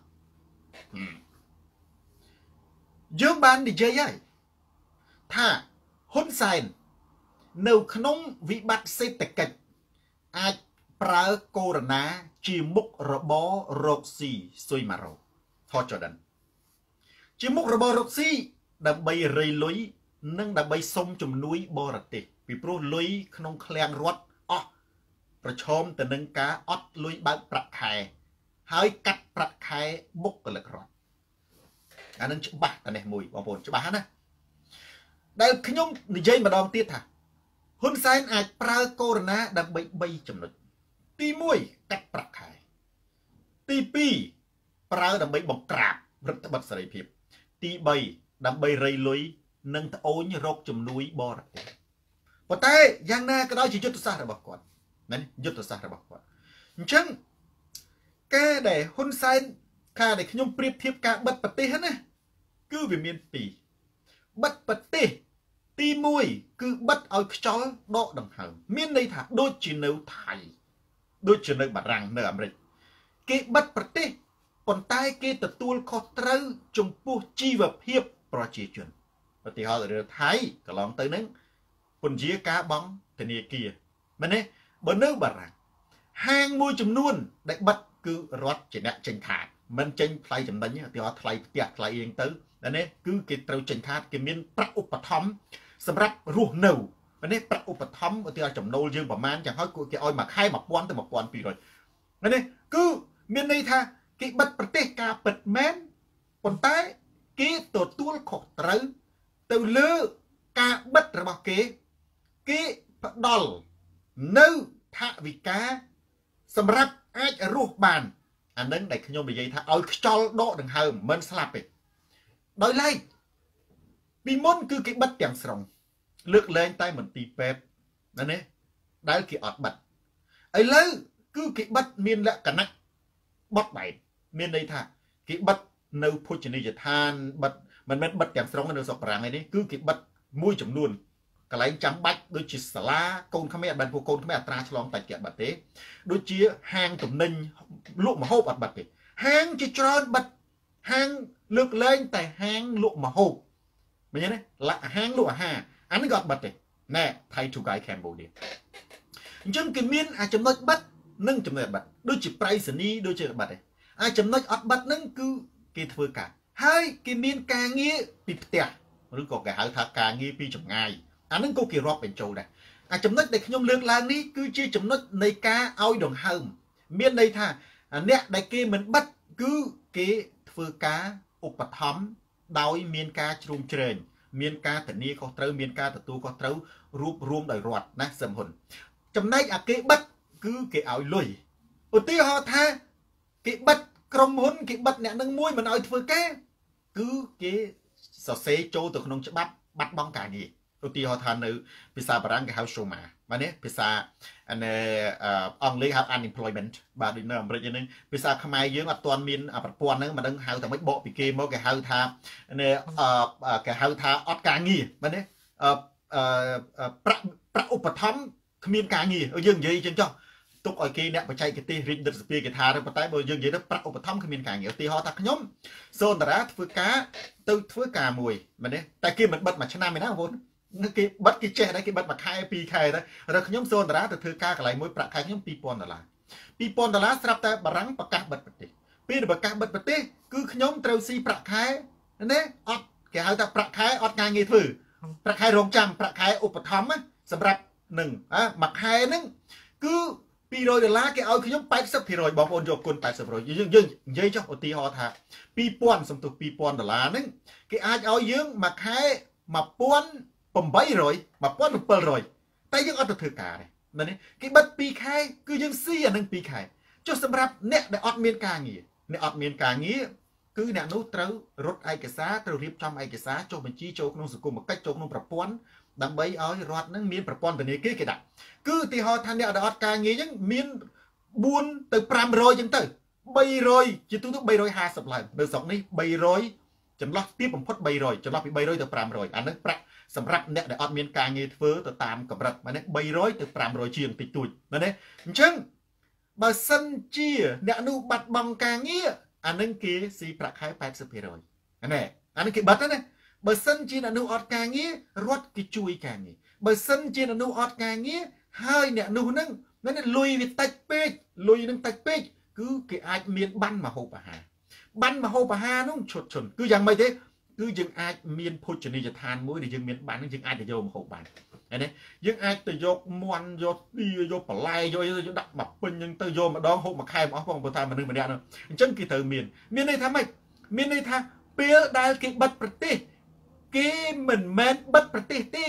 គេបិទការពារកូវីដ -19 គឺដើម្បីការពារជីវិតមនុស្សឥឡូវប្រទេសកម្ពុជា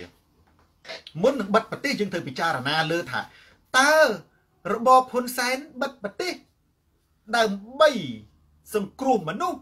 ឬបិទប្រទេសដើម្បីឲ្យថប់ដង្ហើមងាប់ថប់ដង្ហើមស្លាប់យើងនិយាយពាក្យព្រោះចុះស្លាប់ហ៊ុនសែនបិទប្រទេសឧទាហរណ៍តើអ្នកដែលមិនអាចបកបមុខរបររកស៊ីបាន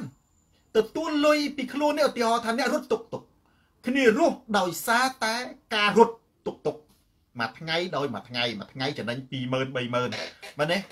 អាដើម្បីអីប្រចាំខែទូទាត់ទៅគ្នាខ្លះគេជួលផ្ទះថ្លៃផ្ទះថ្លៃទឹកថ្លៃភ្លើងចំណេញតិចតួចចឹងទៅបង់ធនាគារអីថ្លៃចឹងទៅណាគៀងហ៊ូអញ្ចឹងបើខ្ញុំឧទាហរណ៍ថាអ្នករត់តុកតុកនៅរត់តុកស៊ីមួយតាក់ស៊ីមួយឥឡូវបើសិនជាយើងបាត់ប្រទេសតើអ្នកទាំងអស់នឹងមិនងាប់អស់លេងអាសន្តិភាពនៅណាឥឡូវជឿខ្ញុំមិនជឿហើយរត់តុកតុកមិនមិនអង្គុយនៅផ្ទះលុយមកឯណាបងវាតតែរត់ រត់នៅគេបាត់ហើយអានឹងរដ្ឋមានឲ្យលុយគ្នាអត់អត់អានឹងដែលខ្ញុំថាទី1អានេះបិទដង្ហើមឥឡូវកសិករណាអាអីផ្សេងផ្សេងអញ្ចឹងពេលដែលគេបិទមិនបិទតាមអនុសាសន៍ហ៊ុនសែនទេគេសុកសាលបិទថាគេបិទចំណុចណាគេបើកចំណុចណាចំណុចណាដែលអាចចរាចរបានតែបើកនឹងគេត្រូវរឹតរឹតបន្តឹងអីមានឯកសារអ្នកឯងត្រូវមានហេតុផលធ្វើអ្នកឯងទៅផ្សារទៅ ប្រាប់មានបលិសតាមផ្លូវវាឆែកមើលតែឯងទៅផ្សារទៅមានกระដាស់ស្នាមមើលប្រសពខ្មែរវាមិនដល់ម្លឹងពេកទេប្រជាជនវាអត់ទាន់ទំនើបឯដល់គេចឹងទេប៉ុន្តែគ្រាន់តែសួរថាចេះនិយាយឲ្យខ្លីអៀតម៉ានីហ៊ុនសែនបិទតើហ៊ុនសែនទទួលខុសត្រូវចំពោះពលរដ្ឋដែលប្រកបមុខរបរហើយមិនអាចប្រកបមុខរបរបាន ដោយសារតែការបិទរបស់ហ៊ុនសែនដែរឬទេហ៊ុនសែនបិទប្រទេសខុសដែរឬទេអត់ខុសទេ អត់ខុសទេហេតុអីមិនឲ្យតែហ៊ុនសែនធ្វើសិតតែខុសទេប៉ុន្តែយើងសួរថាតើការបិទប្រទេសនោះហ៊ុនសែនមានផ្ដល់ការឧបត្ថម្ភមានផ្ដល់ដង្ហើមឲ្យអ្នកដែលបាត់បង់ការងារពេលដែលបិទប្រទេសនោះរស់ដែរឬទេបើសិនជាការបិទប្រទេសមួយ ដែលមិនអាចផ្ដល់ឲ្យមនុស្សដែលត្រូវគេបិទរស់បានទេ ត្រូវពិចារណាឲ្យច្បាស់ប្រយ័ត្នងាប់ប្រជាជនមិនមែនងាប់ដោយសារកូវីដ -19 ទេងាប់ដោយសារថប់ដង្ហើមអត់ការងារធ្វើងាប់ដោយសារមិនអាចធ្វើកិច្ចការអីបាននេះខ្ញុំសម្រាប់សូនតារាអត់ជំទាស់ជាមួយនឹងការបិទប្រទេសប៉ុន្តែខ្ញុំគ្រប់គ្រងឲ្យមានការផ្ដាល់ដង្ហើមសម្រាប់អ្នកដែលបាត់បង់ការងារអ្នកដែលមិនអាចបំពេញការងារចិញ្ចឹមជីវិតបានរដ្ឋត្រូវតែមានប្រាក់ឧបត្ថម្ភយ៉ាងច្បាស់លាស់ឲ្យពួកគាត់បិទបាន នេះរស់បានក្នុងអំឡុងពេលដែលបិទមិនមែនរដ្ឋមិនមែនត្រូវបិទ2ខែ3ខែទេបិទ2អាទិត្យ3អាទិត្យដូចនៅសុបរាំងណាសុបរាំងបើថាគេបិទប្រាំងឆ្លាតទេបិទប្រទេសបិទ3ខែ4ខែមកតែគេបិទ4ខែមិនបើសិនជាប្រកាសបិទ4ខែប្រជាជននោះវាបាតកម្មទៅលើសដើមស្រុកនេះមានសិទ្ធិសេរីភាពនៅលំងនៅអីហ្នឹងគឺប្រឆាំងទៅនឹងការរដ្ឋបិទប្រឆាំងទៅនឹងការបិទប្រទេសអញ្ចឹងគេបិទប្រទេសមិនទេបារាំងវាថាគេបិទ4ខែបិទ4ខែគេថាបិទ3អាទិត្យបោកទេ ប៉ុន្តែហ្នឹងល្អរបស់គេបោកហ្នឹងណាល្អ3អាទិត្យហ្នឹងមិនទេ3អាទិត្យស្រាប់តែដល់ឬក៏មួយខែគេថាបិទមួយខែ4សប្តាហ៍ស្រាប់ទៅដល់4សប្តាហ៍ដល់ថ្ងៃបើកហ្នឹងណាគេប្រឡែងគេប្រឡែងយើងបែរជា5ថ្ងៃក្រោយមកគេប្រកាសទៀតណាគេថាអូដោយសារតែកូវីដ -19 អញ្ចឹងអញ្ចឹងគេសុំបិទ3អាទិត្យទៀត3អាទិត្យទៀតហើយដល់តែថ្ងៃបើកហ្នឹងគេប្រកាសសារថ្មីទៀតណាគេបើកយើងបើកយើងមួយអាទិត្យគេបិទមួយខែទៀតអញ្ចឹង ការបិទប្រទេសសូម្បីតែការបិទប្រទេសគេមិនខ្ទប់ឲ្យងាប់ដែរបងគេប្រឡែងបធូប្រឡែងបធូបងប្អូនអ្នកនៅសុខបារាំងដឹងបិទប្រទេសបើគេចង់បិទ4ខែណាគេមិនដែលបិទថាអូបិទប្រទេស4ខែអូលឺអញ្ចឹងរោគចិត្តងាប់ហើយមនុស្សអានឹងពាក់ព័ន្ធសរសៃប្រសាទណាបងប្អូនណាបិទប្រទេសនៅតែក្នុងផ្ទះហ្នឹងអបសុកហ្នឹងវិលមុខវិលក្បងហ្នឹងអត់បានទេអញ្ចឹងបិទ4ខែគេបិទមិនជួនកាលគេបិទមួយខែជួនកាលគេបិទ2អាទិត្យក៏មានដែរបិទ2អាទិត្យទៅស្ថានភាពធូរអញ្ចឹងទៅ គេបើកមួយអាទិត្យគេបិទបើកបិទបើកបិទបើកបិទបើកអាហ្នឹងហើយធម្មតាមនុស្សយើងវាប្រៀបដូចជាកីឡាអញ្ចឹងវាមិនអាចទៅរត់រហូតទេវាត្រូវតែមានឈរវាត្រូវតែមានសម្រាប់ខ្លះហើយអញ្ចឹងសរុបសេចក្តីមកណាដែលខ្ញុំគំនិតនេះគឺជាគំនិតសកលទេគឺជាគំនិតជួយប្រជាជនទេបងប្អូនណាកន្លែងហ្នឹងបើបងប្អូនគណៈបកប្រជាជនសំណាងមូលិកាមើលទូរទស្សន៍សូនតារាគាត់អាចយល់អំពីទឹកចិត្តជម្រៅបេះដូងរបស់សូនតារាថាសូនតារាស្រឡាញ់ប្រជាជនកម្ពុជានិងប្រទេសជាតិប៉ុណ្ណា ធំធេងប៉ុណ្ណាហើយសំណួរនេះហើយក៏ឈប់សួរសំណួរតើសបាយមែនទេឃើញប្រជាជនណាកើតកូវីដ -19 ខ្ញុំអត់ទេខ្ញុំអត់មានទៅអីទេអ្នកដែលប្រមាថគឺហ៊ុនសែនទេបាទមួយទៀតបងប្អូនមើលអ្វីដែលសូនតារានិយាយនេះដើម្បីប្រយោជន៍អ្នកណាតើដើម្បីប្រយោជន៍ខ្ញុំខ្ញុំអត់ទេខ្ញុំនៅស្រុកប្រាំងនេះខ្ញុំរស់ខ្ញុំអត់មានបញ្ហាទេសង្គមកិច្ចបាទអត់មានអីទេបាទអានឹងគឺកុំខ្វល់អីនៅស្រុកប្រាំងនេះឲ្យតែស្របច្បាប់ឲ្យតែមានឈ្មោះនៅក្នុង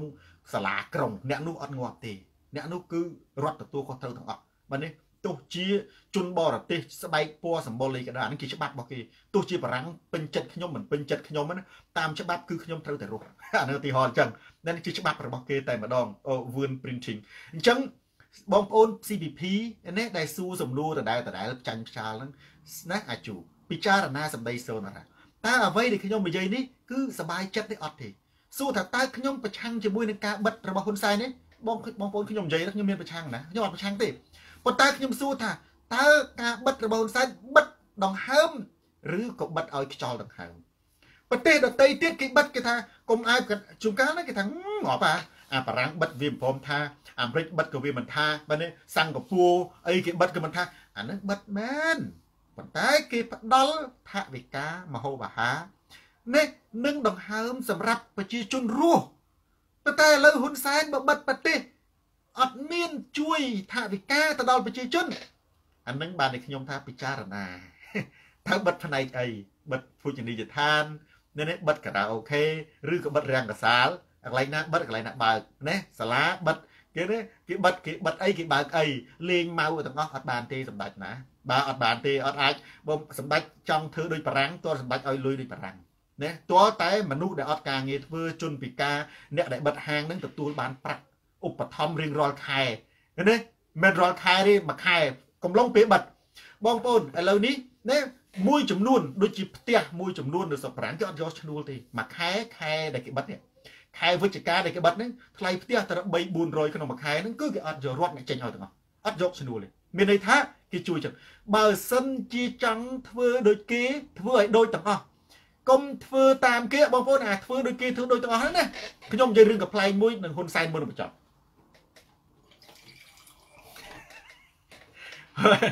រឿងហ៊ុនសែនធ្វើតាមរឿងធ្វើតាមរឿងភាពយន្តធ្វើតាមភាពយន្តបរោះពីងពីងឬក៏ធ្វើតាម Superman Spiderman អីចឹងទៅបងប្អូនដែលឃើញរឿងកំ pl ែងគេ ធ្វើនៅក្នុង Facebook ឯងគេធ្វើយើងសោចណាធ្វើត្រាប់តាមកុនធ្វើត្រាប់តាមកុនហ្នឹងមិនឃើញបរោះពីងពីងគេហោះគេណែដាក់អាពីងពីងនោះគប់ប៉ប់ជាប់អញ្ចឹងហោះស្ទុយមែនទេហើយដល់តែពេលខ្លួនឯងមើលអានឹងហើយ មើលអានឹងហើយណាគៀងហ៊ូធ្វើតាម ធ្វើតាមហ្នឹងគេយកស្ករកស៊ូវិញណាស្ករកស៊ូចងអំបោះស្ករកស៊ូគប់ជាងទៅចងអំបោះទៅវាមិនជាប់លួតទៅព្រុសបាក់កងាប់បាត់អាហ្នឹងកុនទេ មានច្រើនណាស់នៅក្នុងហ្នឹងណាមានអ្នកខ្លះចឹងទៅគេធ្វើណែអីទៅឡើងលើផ្ទះហើយចឹងទៅឡើងលើផ្ទះក្នុងកុនស្រាប់តែបិទអាទូរស័ព្ទហ្នឹងឃើញកុនណាស្រឡាញ់តួនឹងពេកធ្វើតាមធ្វើតាមធ្វើទៅអាយ៉ាទ្រូងខ្ទេចបងប្អូនអាយ៉ាទ្រូងឈាមពេញខ្លួនមកខ្ញុំចង់និយាយថាហ៊ុនសែនឃើញអាមេរិកហើយបារាំងបិទប្រទេសចង់បិទតាម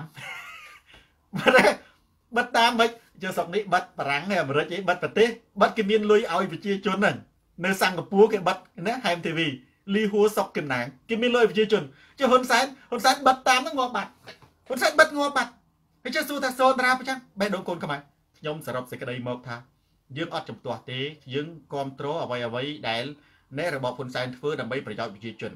ប៉ុន្តែពាក្យបិទឬបើកណាត្រូវមើលថា ឆ្លោយទៅនឹងសំណួរមួយដ៏សំខាន់តើបិទឲ្យខ្យល់ដកដង្ហើម អ្នកដែលបាត់បង់ការងារគិតយ៉ាងម៉េចឬក៏បិទដើម្បីថប់ដង្ហើមស្លាប់ចឹងប្រិយមិត្ត share វីដេអូនេះទៅកាន់ប្រិយមិត្តដទៃទៀតទូរទស្សន៍សូនតារាស្រាតខោជន់ផ្ដាច់ការផ្លាស់ប្ដូរផ្នត់កំណត់យើងចូលដល់របៀបរយៈចុងក្រោយបាទគឺសំណួរចម្លើយនិងបញ្ហាផ្សេងផ្សេងមានបងប្អូនយើងសោកច្រើនណា ប្រហែលជាធ្លាប់ឃើញអាវីដេអូត្រាប់តាមកុនហ្នឹងត្រាប់តាមឃើញគេបិទណាកុំទៅចេះតែប្រទេសតែផ្ដាស់តាមបារាំងណាអត់មានលេងសោចទេមែនទេស្រុកនេះគេធ្វើការគេធ្វើការស្ដាប់អ្នកវិទ្យាសាស្ត្រមិនស្ដាប់ហ៊ុនសែនទេបងប្អូនដូចជានៅស្រុកបារាំងនៅស្រុកអាមេរិកនេះគេធ្វើស្ដាប់គេធ្វើការស្ដាប់អ្នកវិទ្យាសាស្ត្រតើបងប្អូនបារាំងលើកបាត់ប្រទេសមុនបាត់ប្រទេសយ៉ាងម៉េចគេប្រកាសពីអាទិត្យមុនណានេះប្រធានាធិបតីនឹងកោះហៅគេហៅថា Conseil Scientifique ភាសាបារាំងណានេះ Conseil Conseil Scientifique នេះមានទីប្រឹក្សាវិទ្យាសាស្ត្រ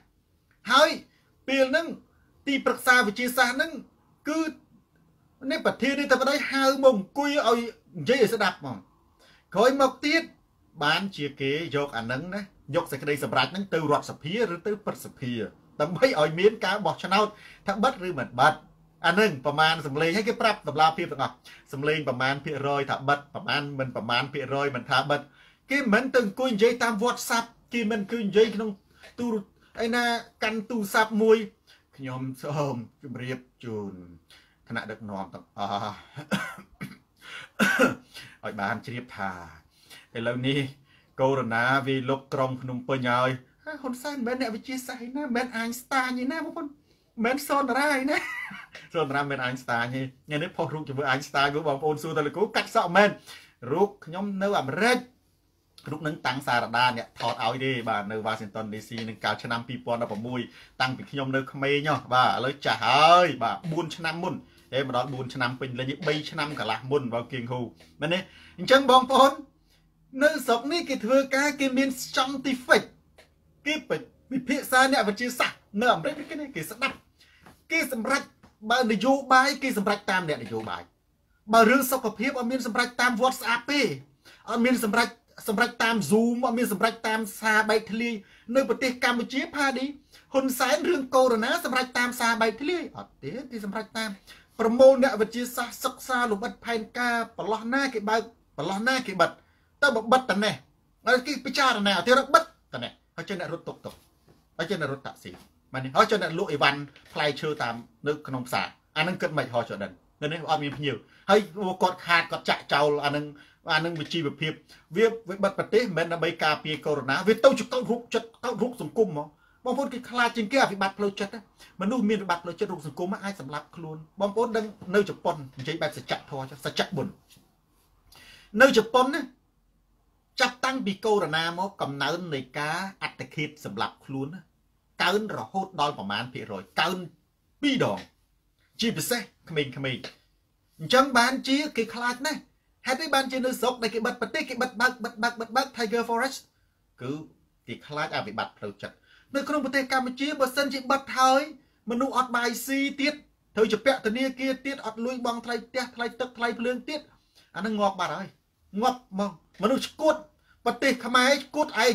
សបាយទៅអ្នកមានថតដាក់ Facebook អ្នកដែលមានលុយមានឡានហ្នឹងដើរ selfie ទៅនៅនេះឃើញអ្នកក្រលក់ចេកអាំងហ្នឹងថតជាមួយអ្នកចេកអាំងដើម្បីធ្វើឯងសម្បើមើលទៅនេះមីងលក់ចេកអាំងហ្នឹងសបាយណាស់ស្រុកសន្តិភាពឲ្យសន្តិភាពមីងនឹកក្នុងចិត្តឲ្យបតាច់យកសន្តិភាពតែឯងអញលក់ចេកអាំងណាហើយយកអញមកលេងសើចចិត្តទៅថតឲ្យសបាយឃើញថៃអាសម្បើមមែនទេទៅថតអញលក់ការ៉េមនឹងមើលទៅឲ្យអាការ៉េមមួយដើមពី500ឯងឲ្យអញ20000 ហើយនេះសន្តិភាពឯងណាបកាច់យកបើអញសន្តិភាពដែរមិនក៏ឯងនេះអញណែប្រាប់ឲ្យច្បាស់ទៅឃើញជនពិការគេខំធ្វើអាណិតអីនឹងទឹកចិត្តជនពិការចេះតែចេះតែនិយាយឲ្យលឺលោកគ្រូសនតារានិយាយថានៅស្រុកគេនឹងជនពិការគេមានប្រាក់ខែតើ មានន័យថាប្រាក់ខែបាត់បង់សមត្ថភាពការងារហើយរទេសគេដូរនៅស្រុកខ្មែរនៅស្រុកខ្មែរឯងយកជនពិការមកធ្វើសពបរសធម៌ដើម្បីគេថាឲ្យឯងនឹងអាសម្បើមគេថាឯងនឹងអាអស់ចាយកអញទៅគេឃើញថាឯងអាណិតអាសូរតាមពិតនេះជនពិការឬគូសូនតារាថានៅស្រុកគេនោះគេមានប្រាក់ខែចំណែកនៅស្រុកខ្មែរជនពិការដាក់ច្រៀងតាមស្តុបតាមានប្រាក់ខែពីណាមកនៅតាមស្តុបទេហោចដិនណាបើមិននៅតាមស្តុបទេទៅតាមចាប់ជនពិការសែងវាយខ្នោះដាក់គុកនៅសៀមរាប អត់មានប្រាក់ខែឲ្យគ្នាទេគេសួរថាចុះរត់អត់លទ្ធភាពដូចស្រុកគេអ្នកមាន អើបើដឹងអត់លទ្ធភាពដូចស្រុកគេអ្នកមានហើយមកអរគុណសន្តិភាពអីជាមួយអ្នកលក់ចេកអាំងហើយអ្នកលក់ការ៉េមកធ្វើឲ្យ20000ថតដើម្បីបាន live បាន share គេសម្បើមអញស្ដាប់ច្បាស់ហើយកូនអញអញមិនចេះមែនប៉ុន្តែរាល់ជប់កូនអញបើកលឺលឺក្បែរតិចអញអញស្ដាប់ទូរទស្សន៍គ្រូសូនតារានិយាយមកអញជឿហើយមិនចឹងអញដឹងហើយជប់គាត់ខ្មែរគាត់នៅស្រុកបារាំងគាត់មានធ្វើអីផងឃើញគាត់និយាយទូរទស្សន៍ស្រាតខោហ៊ុនសែនរាល់ថ្ងៃបើគាត់និយាយមិនពិតគាត់ដាច់បាយងាប់បាត់ហើយគាត់មិនមែនមានផ្ទះនៅសង្ហាជាងអ្នកមាននៅស្រុកខ្មែរទេគាត់និយាយលេងអាហ្នឹងគាត់ថាអញ្ចឹងណាបាទផលផលបាទផលផលអាមេជើងកាងនិយមហ៊ុនសែនខ្លាំងអើបាទគាត់នេះខមមិនជាទស្សនៈមិនមែនជាសំណួរខ្ញុំអានជាពិសេសសំណួរបាទផាឌីច្បាស់ច្បាស់យ៉ាងនឹងអឹម Johnny Santana very good uh, I like you អៀងនឹង ប៊ុនណាដុកប្រូជេសុងបាទម៉ៅសូម៉ានីសោចការពិតបងប្អូនអញ្ចឹងមែនបាទហើយចូលបញ្ជាក់ថាអ្វីដែលខ្ញុំនិយាយខុសមើលទៅវាមានដូចលក្ខណៈគួរឲ្យចង់សោចមែនប៉ុន្តែការពិតបាទការពិត ដូចជាខ្ញុំផុសអត្តបទមួយខ្ញុំនៅក្នុងចិត្តមិននឹកស្មានថាអត្តបទហ្នឹងបងប្អូនយើងសប្បាយសោចសោះ បងប្អូនម្នាក់ម្នាក់គាត់ថាលោកគ្រូអានអត្តបទលោកគ្រូអាហ្នឹងខ្ញុំសោចចុកពោះផ្ញើសារជាសម្លេងមកផងហើយខ្ញុំចុចមើលអារូប reaction អារូបសោចហ្នឹងមានច្រើនមិនមែនចង់ពាក់កដាលខ្ញុំមិនសេថាអញ្ចេះក្រោយពីបោះពុំសិភៅសរសើរសម្ដេចតេជោដើរបញ្ច្រាស់ទឹះកំចាត់កូរ៉ូណារួចកូរ៉ូណាមកដល់ក្នុងផ្ទះហ៊ុនសែនខ្ញុំនិយាយពិតទៅឥឡូវកន្លែងណាដែលមិនពិតប៉ុន្តែខ្ញុំដំបងខ្ញុំមិនសោចដែរសំណាងម៉ូលីកា ដល់តែពេលបងប្អូនយើងសោចច្រើនពេកទៅខ្ញុំក៏ទៅមើលអាអត្ថបទខ្លីនឹងម្ដងទៀតដល់តែខ្ញុំមើលទៅខ្ញុំសោចមិនដែរដូចមនុស្សឈួតដែរខ្ញុំថាចំដល់មានពេលខ្លះការពិតគួរឲ្យចង់សោចតើបងប្អូនណាបងប្អូនមិនអញ្ចឹងឥឡូវក្រោយពីបោះពុំសិភៅដើរបញ្ច្រាស់ទិសដាច់ជោបញ្ច្រាស់ទិសកំចាត់កូវីដអាហ្នឹងមិនពិតណាកូវីដទៅដល់ក្នុងផ្ទះដាច់ជោកូវីដដល់ក្នុងផ្ទះគាត់ហើយគាត់ចាត់តាលិសាគាត់នៅដាច់កន្លែងไรហ្នឹងប្រពន្ធកូនគាត់អង្គរៈគាត់ខ្ចាត់ខ្ចាយ ប្រផាប់ប្រភីងបាត់ហើយក្រោយពីសភៅនឹងបោះពុំពុបបងប្អូនណាសភៅនឹងមានអស់មកដល់ត្នេះទៀតខ្ញុំយើងសភៅនឹងចុះមែនទេមានបងប្អូនយើងខ្លះដឹងខ្លះដឹងចឹងមិនថាព័ត៌មានព័ត៌មានមិនមែនមានន័យថាចេញទៅមនុស្សដឹងទាំងអស់ទេអូនជូអូនមានបងប្អូនយើងក៏សួរថាលោកគ្រូលោកគ្រូនិយាយលះហ៊ុនសែនមានសភៅកំចាត់កូវីដមែនអីខ្ញុំក៏ផ្ញើរូបសោចទៅស្រាប់តែថ្ងៃនេះក៏តបមក គាត់តបមកគាត់ដាក់អារូបកតុកកតាសោចអារូបកតុកកតាសោចហាហាណាគាត់ថាស្មានតែលោកគ្រូនិយាយលេង មានមែនសភៅគេដាក់រូបហ៊ុនសែនពាក់អាវត្រួយចេកមានបងប្អូនយើងយកអាសភៅនឹងផុសតតគ្នាណាគាត់ថាអូលោកគ្រូហើយឥឡូវកាន់តែជឿទូរទស្សន៍សូនារានឹងកាន់តែច្បាស់មានបងប្អូនយើងយកសភៅហ៊ុនសែនផុសរូបត្រួយចេកអោគាត់ពាក់វ៉ែនតាតនុយពាក់អាវត្រួយចេកហើយនឹងកប៉ាល់យាយកូរ៉ូណាអាមេរិកនេះនឹងពឹបមក ចេញសភៅនឹងវឹកកូរ៉ូណាទៅដល់ក្នុងផ្ទះហ៊ុនសែនបាទអាប៉ែនប្រូ31កុម្ភៈខ្មែរបន្ទាយស្រីតើអ្នកណាជាជនក្បត់ជាតិពិតពិតបាទគាត់សួរឲ្យគាត់ឆ្លើយខ្លួនឯងចម្លើយរបស់គាត់គាត់ឆ្លើយខ្លួនឯងហើយបាទគាត់ដឹងហើយបាទអឺជូលីកូនពៅនិងកម្ពុជាក្រោមជាទឹកដីខ្មែរតើត្រូវធ្វើយ៉ាងណាដើម្បីឲ្យប្រជាជនខ្មែរក្លាហានដូចថៃ មិនយូរមិនឆាប់ទេបាទការខិតខំប្រឹងប្រែងរបស់យើងគឺសន្សំពីពេលនេះតទៅ ជាសគុណខ្លួនគាត់ឆ្លងកូវីដ19បែរជាបំភ័យគេមួយប្រទេសអានឹងមិនអីទេបងប្អូនសម្ដេចគាត់និយាយតែនេះត្រូវខ្ញុំគ្រប់គ្រងសម្ដីគាត់មិនរាល់តែសម្ដេចនិយាយសត្វតែខុសទេបងប្អូនបើកាលណាយើងគ្រប់គ្រងភាពត្រឹមត្រូវមិនមែនមានន័យថាឲ្យតែហ៊ុនសែនធ្វើសត្វតែខុសទេយើងគ្រាន់តែយើងបែងចែកថាតើការធ្វើនោះមានប្រយោជន៍ធំឬប្រយោជន៍តូចគាត់និយាយថាកុំឲ្យកំទេចភ្លើងតូច คล้ายទៅជាភ្លើងឆេះព្រៃមួយទាំងមូលអាហ្នឹងគឺត្រឹមត្រូវបងប្អូននៅស្រុកបារាំងពីដើមមានតែ4នាក់ឯតើឥឡូវ1លាន8សែនអ្នកចិត្តនិយាយថា2លានចុះស្រុកបារាំងឥឡូវ2លានខ្ញុំមុនថា1លានអត់ខុសទេឥឡូវរបាយការណ៍ណាហ៊ុនសែនគាត់និយាយតែនឹងត្រូវគាត់អត់ខុសទេបងប្អូនមិនថាឲ្យតែប្រឆាំងជាមួយហ៊ុនសែនណាហ៊ុនសែនធ្វើអីក៏យើងគិតតែថាគាត់ខុសអានឹងមិនមែនទេត្រូវទ្រឹស្ដីតែនឹងត្រូវកូវីដក៏មើងងាយណាអត់មើងងាយបានទេ កុំឲ្យកំតិចភ្លើងតូចមួយคล้ายទៅជាអគិភ័យដ៏ធំការពិតគឺចឹងមែនបងប្អូនមើលនៅអាមេរិកដំបងដូណាល់ត្រាំគាត់អឺតាមែនទេនៅអាមេរិកមាន2នាក់ហ្នឹងឥឡូវអាមេរិកចូលប្រហែលលានបងប្អូន3 4 5លានអ្នកអាមេរិក5លានអ្នកណាមាន5លានអ្នកអញ្ចឹងសម្ដេចនិយាយតែនឹងត្រូវប៉ុន្តែយើងគុំណាគុំទៅឲ្យតែហ៊ុនសែនថាអីយើងចេះតែទៅឆ្កិញឆ្កៀលទៅផ្ចាញ់ផ្ចាលគាត់មែនទេដូចសូនរាថា តើយើងប្រឆាំងជាមួយនឹងការបិទប្រទេសរបស់ហ៊ុនសែននេះខ្ញុំអត់ជំទាស់ទេបើការបិទនោះវាប្រយោជន៍របស់ប្រជាជនផ្ទុយមកវិញពិចារណាបើការបិទនោះតើបិទទ្រង់ទ្រីប៉ុណ្ណាបិទទៅលើចំណុចអីបិទតាណាបើកតាណាតើត្រូវមានការសម្របសម្រួលយ៉ាងដូចម្ដេចមិនមែនបិទតាមបទបញ្ជាទេបើការបិទនោះវាជួយថែរក្សាទប់ស្កាត់កុំឲ្យកងើកភ្លើងវាទៅជាភ្លើងឆេះព្រៃ ត្រឹមត្រូវប៉ុន្តែបើការបិទនោះមិនប្រយ័ត្នណាវាទៅជាបិទដង្ហើមវិញហ៊ុនសែនបិទដង្ហើមឥឡូវបើសាកមើលតែខ្ញុំថាកុំធ្វើតាមត្រាប់តាមកុនណាឃើញកុនចេះហោះយើងទៅត្រាប់តាមហោះបាក់កងមកឥឡូវហើយកុំត្រាប់តាមបារាំងណាបារាំងបិទគេមានលុយបើកប្រាក់ខែគេមានលុយឲ្យប្រជាជនទំនុកបំរុងហ៊ុនសែនមានអត់ខ្ញុំគ្រប់គ្រងមែនទេចំពោះវិធានការទាំងឡាយណាដើម្បីទប់ស្កាត់ប៉ុន្តែបើសិនជាវិធានការនោះ ប្រើដើម្បីប្រយោជន៍នយោបាយដើម្បីជាលេសរដ្ឋបិទដើម្បីគ្រាន់តែចង់សុំជំនួយណាដើម្បីគ្រាន់តែជាការបំពងសភាពការមួយឲ្យវាខ្លាំងអានឹងគឺខ្ញុំអត់គ្រប់គ្រងទេប៉ុន្តែទោះយ៉ាងណាក៏ដោយប្រិយមិត្តបាទនេះនៅក្នុងប្រទេសកម្ពុជារឿងកូវីដមិនមែនជារឿងលេងសើចទេកុំគិតថាឲ្យតែអ្វីដែលហ៊ុនសែនធ្វើអញដឹងតែស្ដោះទឹកមាត់អញដឹងតែតែលេងសើចមិនមែនទេចំណុចហ្នឹងត្រូវដែរបាទមិនត្រូវដែរគឺត្រូវហ្មងងងើកភ្លើងតូចអាចคล้ายជាអតិភ័យដ៏ធំមួយ កុំច្រឡំមើលឃើញឆ្លងប្រមាណអ្នកហ្នឹងប្រទេសកម្ពុជាបងប្អូននៅស្រុកខ្មែរណាស្ថានភាពនៅស្រុកនេះពេទ្យទំនើបទំនើបគេទប់មិនទាំងជាប់ផងសេដ្ឋកិច្ចដួលចង់ងាប់បើនៅអត់មិនមែនជាប្រទេសមហាអំណាចនៅបារាំងដួលអត់ហើយសុខខ្មែរបើមានស្មើបារាំងងាប់ហើយបងប្អូនងាប់បាត់ហើយងាប់បាត់ហើយអញ្ចឹងយើងត្រូវទប់ស្កាត់អាកន្លែងហ្នឹងគ្រាន់តែថាយើងកុំប្រឆាំងជាមួយនឹងការបិទប៉ុន្តែយើងត្រូវថាតើការបិទនោះវាដើម្បីប្រយោជន៍ជាលេសនយោបាយជាប្រយោជន៍នយោបាយឬដើម្បីឲ្យប្រជាជន ទប់ស្កាត់ការរីករាលដាលហើយកុំភ្លេចថាបើសិនជាការបិទនោះជាការបិទដង្ហើមពិចារណាឲ្យល្អិតល្អន់បាទអាវិញអាវិញវែង KPS បាទសុំសួរមួយបងតើកណន័យភាពសង្គមមានន័យយ៉ាងដូចម្ដេចបាទកណន័យកណន័យកណន័យមកពាក្យកណនីបាទកណនីកណនីនឹងគឺជាគេហៅថាតលយៈភាពច្បាស់លាស់ណានេះ ស្មើភាពយុត្តិធម៌អានឹងបើយើងអានេះបើយើងនិយាយទៅតាមពាក្យទៅកណន័យភាពសង្គមមានន័យថាវាស្រដៀងនឹងពាក្យដំឡាភាពហ្នឹងហើយកណន័យវាមានការថ្លឹងថ្លែងយុត្តិធម៌គាត់ណាវាបន្ថែមទៅលើពាក្យយុត្តិធម៌ក្នុងនឹងដំឡាភាពគាត់តែច្បាស់ច្បាស់យុត្តិធម៌ហើយនេះខ្មែរយើងគេបកពីអង់គ្លេសទេ accountability បាទទំនួលខុសត្រូវនឹងដំឡាភាពបើយើងនិយាយទៅអកណនីយភាពនឹងគឺ បើបើយើងនិយាយតាមពាក្យអង្គការសង្គមស៊ីវិលទៅវាស្រដៀងទៅនឹងពាក្យដំឡាភាពទំនួលខុសត្រូវយុត្តិធម៌បាទ អា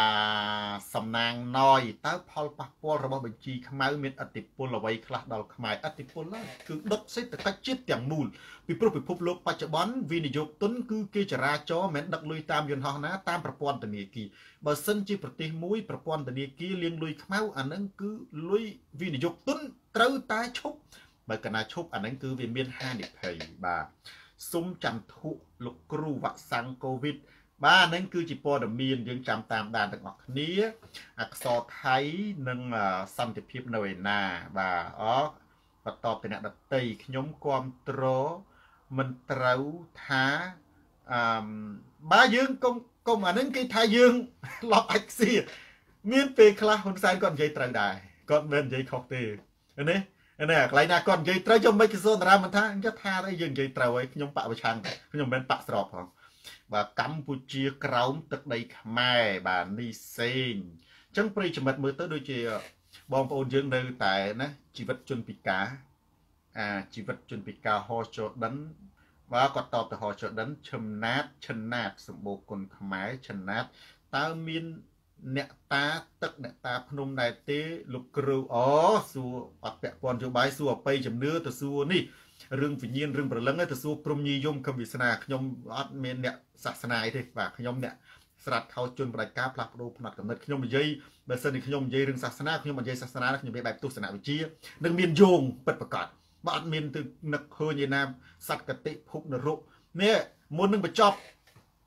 មានបងប្អូនយើងតែងកំណាប់ឌឺសូនារាមួយតែកំណាប់ល្អមានន័យថាមិនមែនឌឺរេកំណាប់នឹងប្រជែងជាមួយសូនារាដល់នេះ ហើយល្អកំណាប់នឹងខ្ញុំសរសើរអ្នកតែងសូនារាថា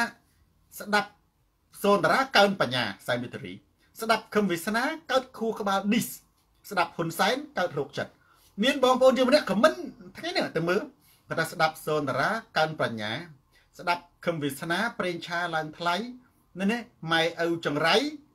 នរុម៉ែឪចង្រៃនរុសัตว์នរុប្រៃហេម្ដងទៀតបងប្អូនទៅមើល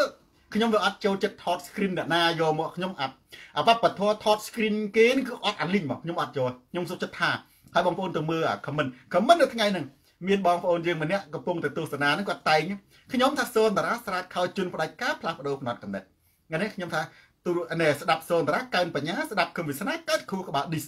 ដល់តែគាត់ណាអត់មានស្ដាប់សូនតារាកើនបញ្ញាទេសែមីទេនេះស្ដាប់សូនតារាកើនបញ្ញាត្រូវហើយ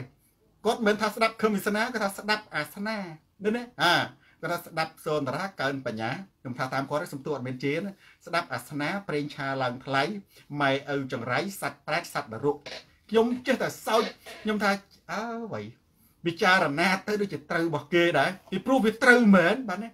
រឿងប្រេងឆាឡើងថ្លៃអានឹងខ្ញុំវាអត់ដឹងទេប៉ុន្តែបើម៉ែឪចង្រៃ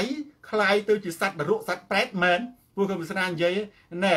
កុំនាំម៉ែនាំឪចាស់ចាស់យាយយាយមកតែពូសម្គាល់កលេចទៅឃើញថាជាសត្វនរកណាពូដេញនាំតែក្មេងក្មេងកំឡោះកំឡោះមកបានហើយពូគ្រឹះណាស់អញ្ចឹងប្រិយមិត្ត share វីដេអូនេះទៅកាន់ប្រិយមិត្តដទៃទៀតទូរទស្សន៍សូនតារាទៅដល់ទីណាការផ្លាស់ប្ដូរផ្នត់កំណត់ទៅដល់ទីនោះការផ្លាស់ប្ដូរផ្នត់កំណត់ទៅដល់ទីណារ៉ាដាកឹមការយល់ដឹងទៅដល់ទីនោះការយល់ដឹងទៅដល់ទីណាហ៊ុនសែនចប់ទៅដល់ទីនោះស្ដាប់សូនតារាកើនបញ្ញាស្ដាប់ខឹមវិសនាកើតខួរក្បាលឌីសស្ដាប់ហ៊ុនសែនកើតរោគចិត្ត ទូរទស្សន៍សូនតារាស្រាតខោជន់ផ្ដាច់ការផ្លាស់ប្ដូរផ្នត់កំណត់បងប្អូនទៅមើលខមមិនបែបគាត់អត់លុបអីមកទៅបាទយើងជួបគ្នាខ្សែជាថ្មីម្ដងទៀតនៅថ្ងៃក្រោយតាមពេលវេលានិងម៉ោងដដែលដាំខាវនិងចាប់ចាប់បាទសូមអរគុណសូមជម្រាបលារាត្រីសួស្តី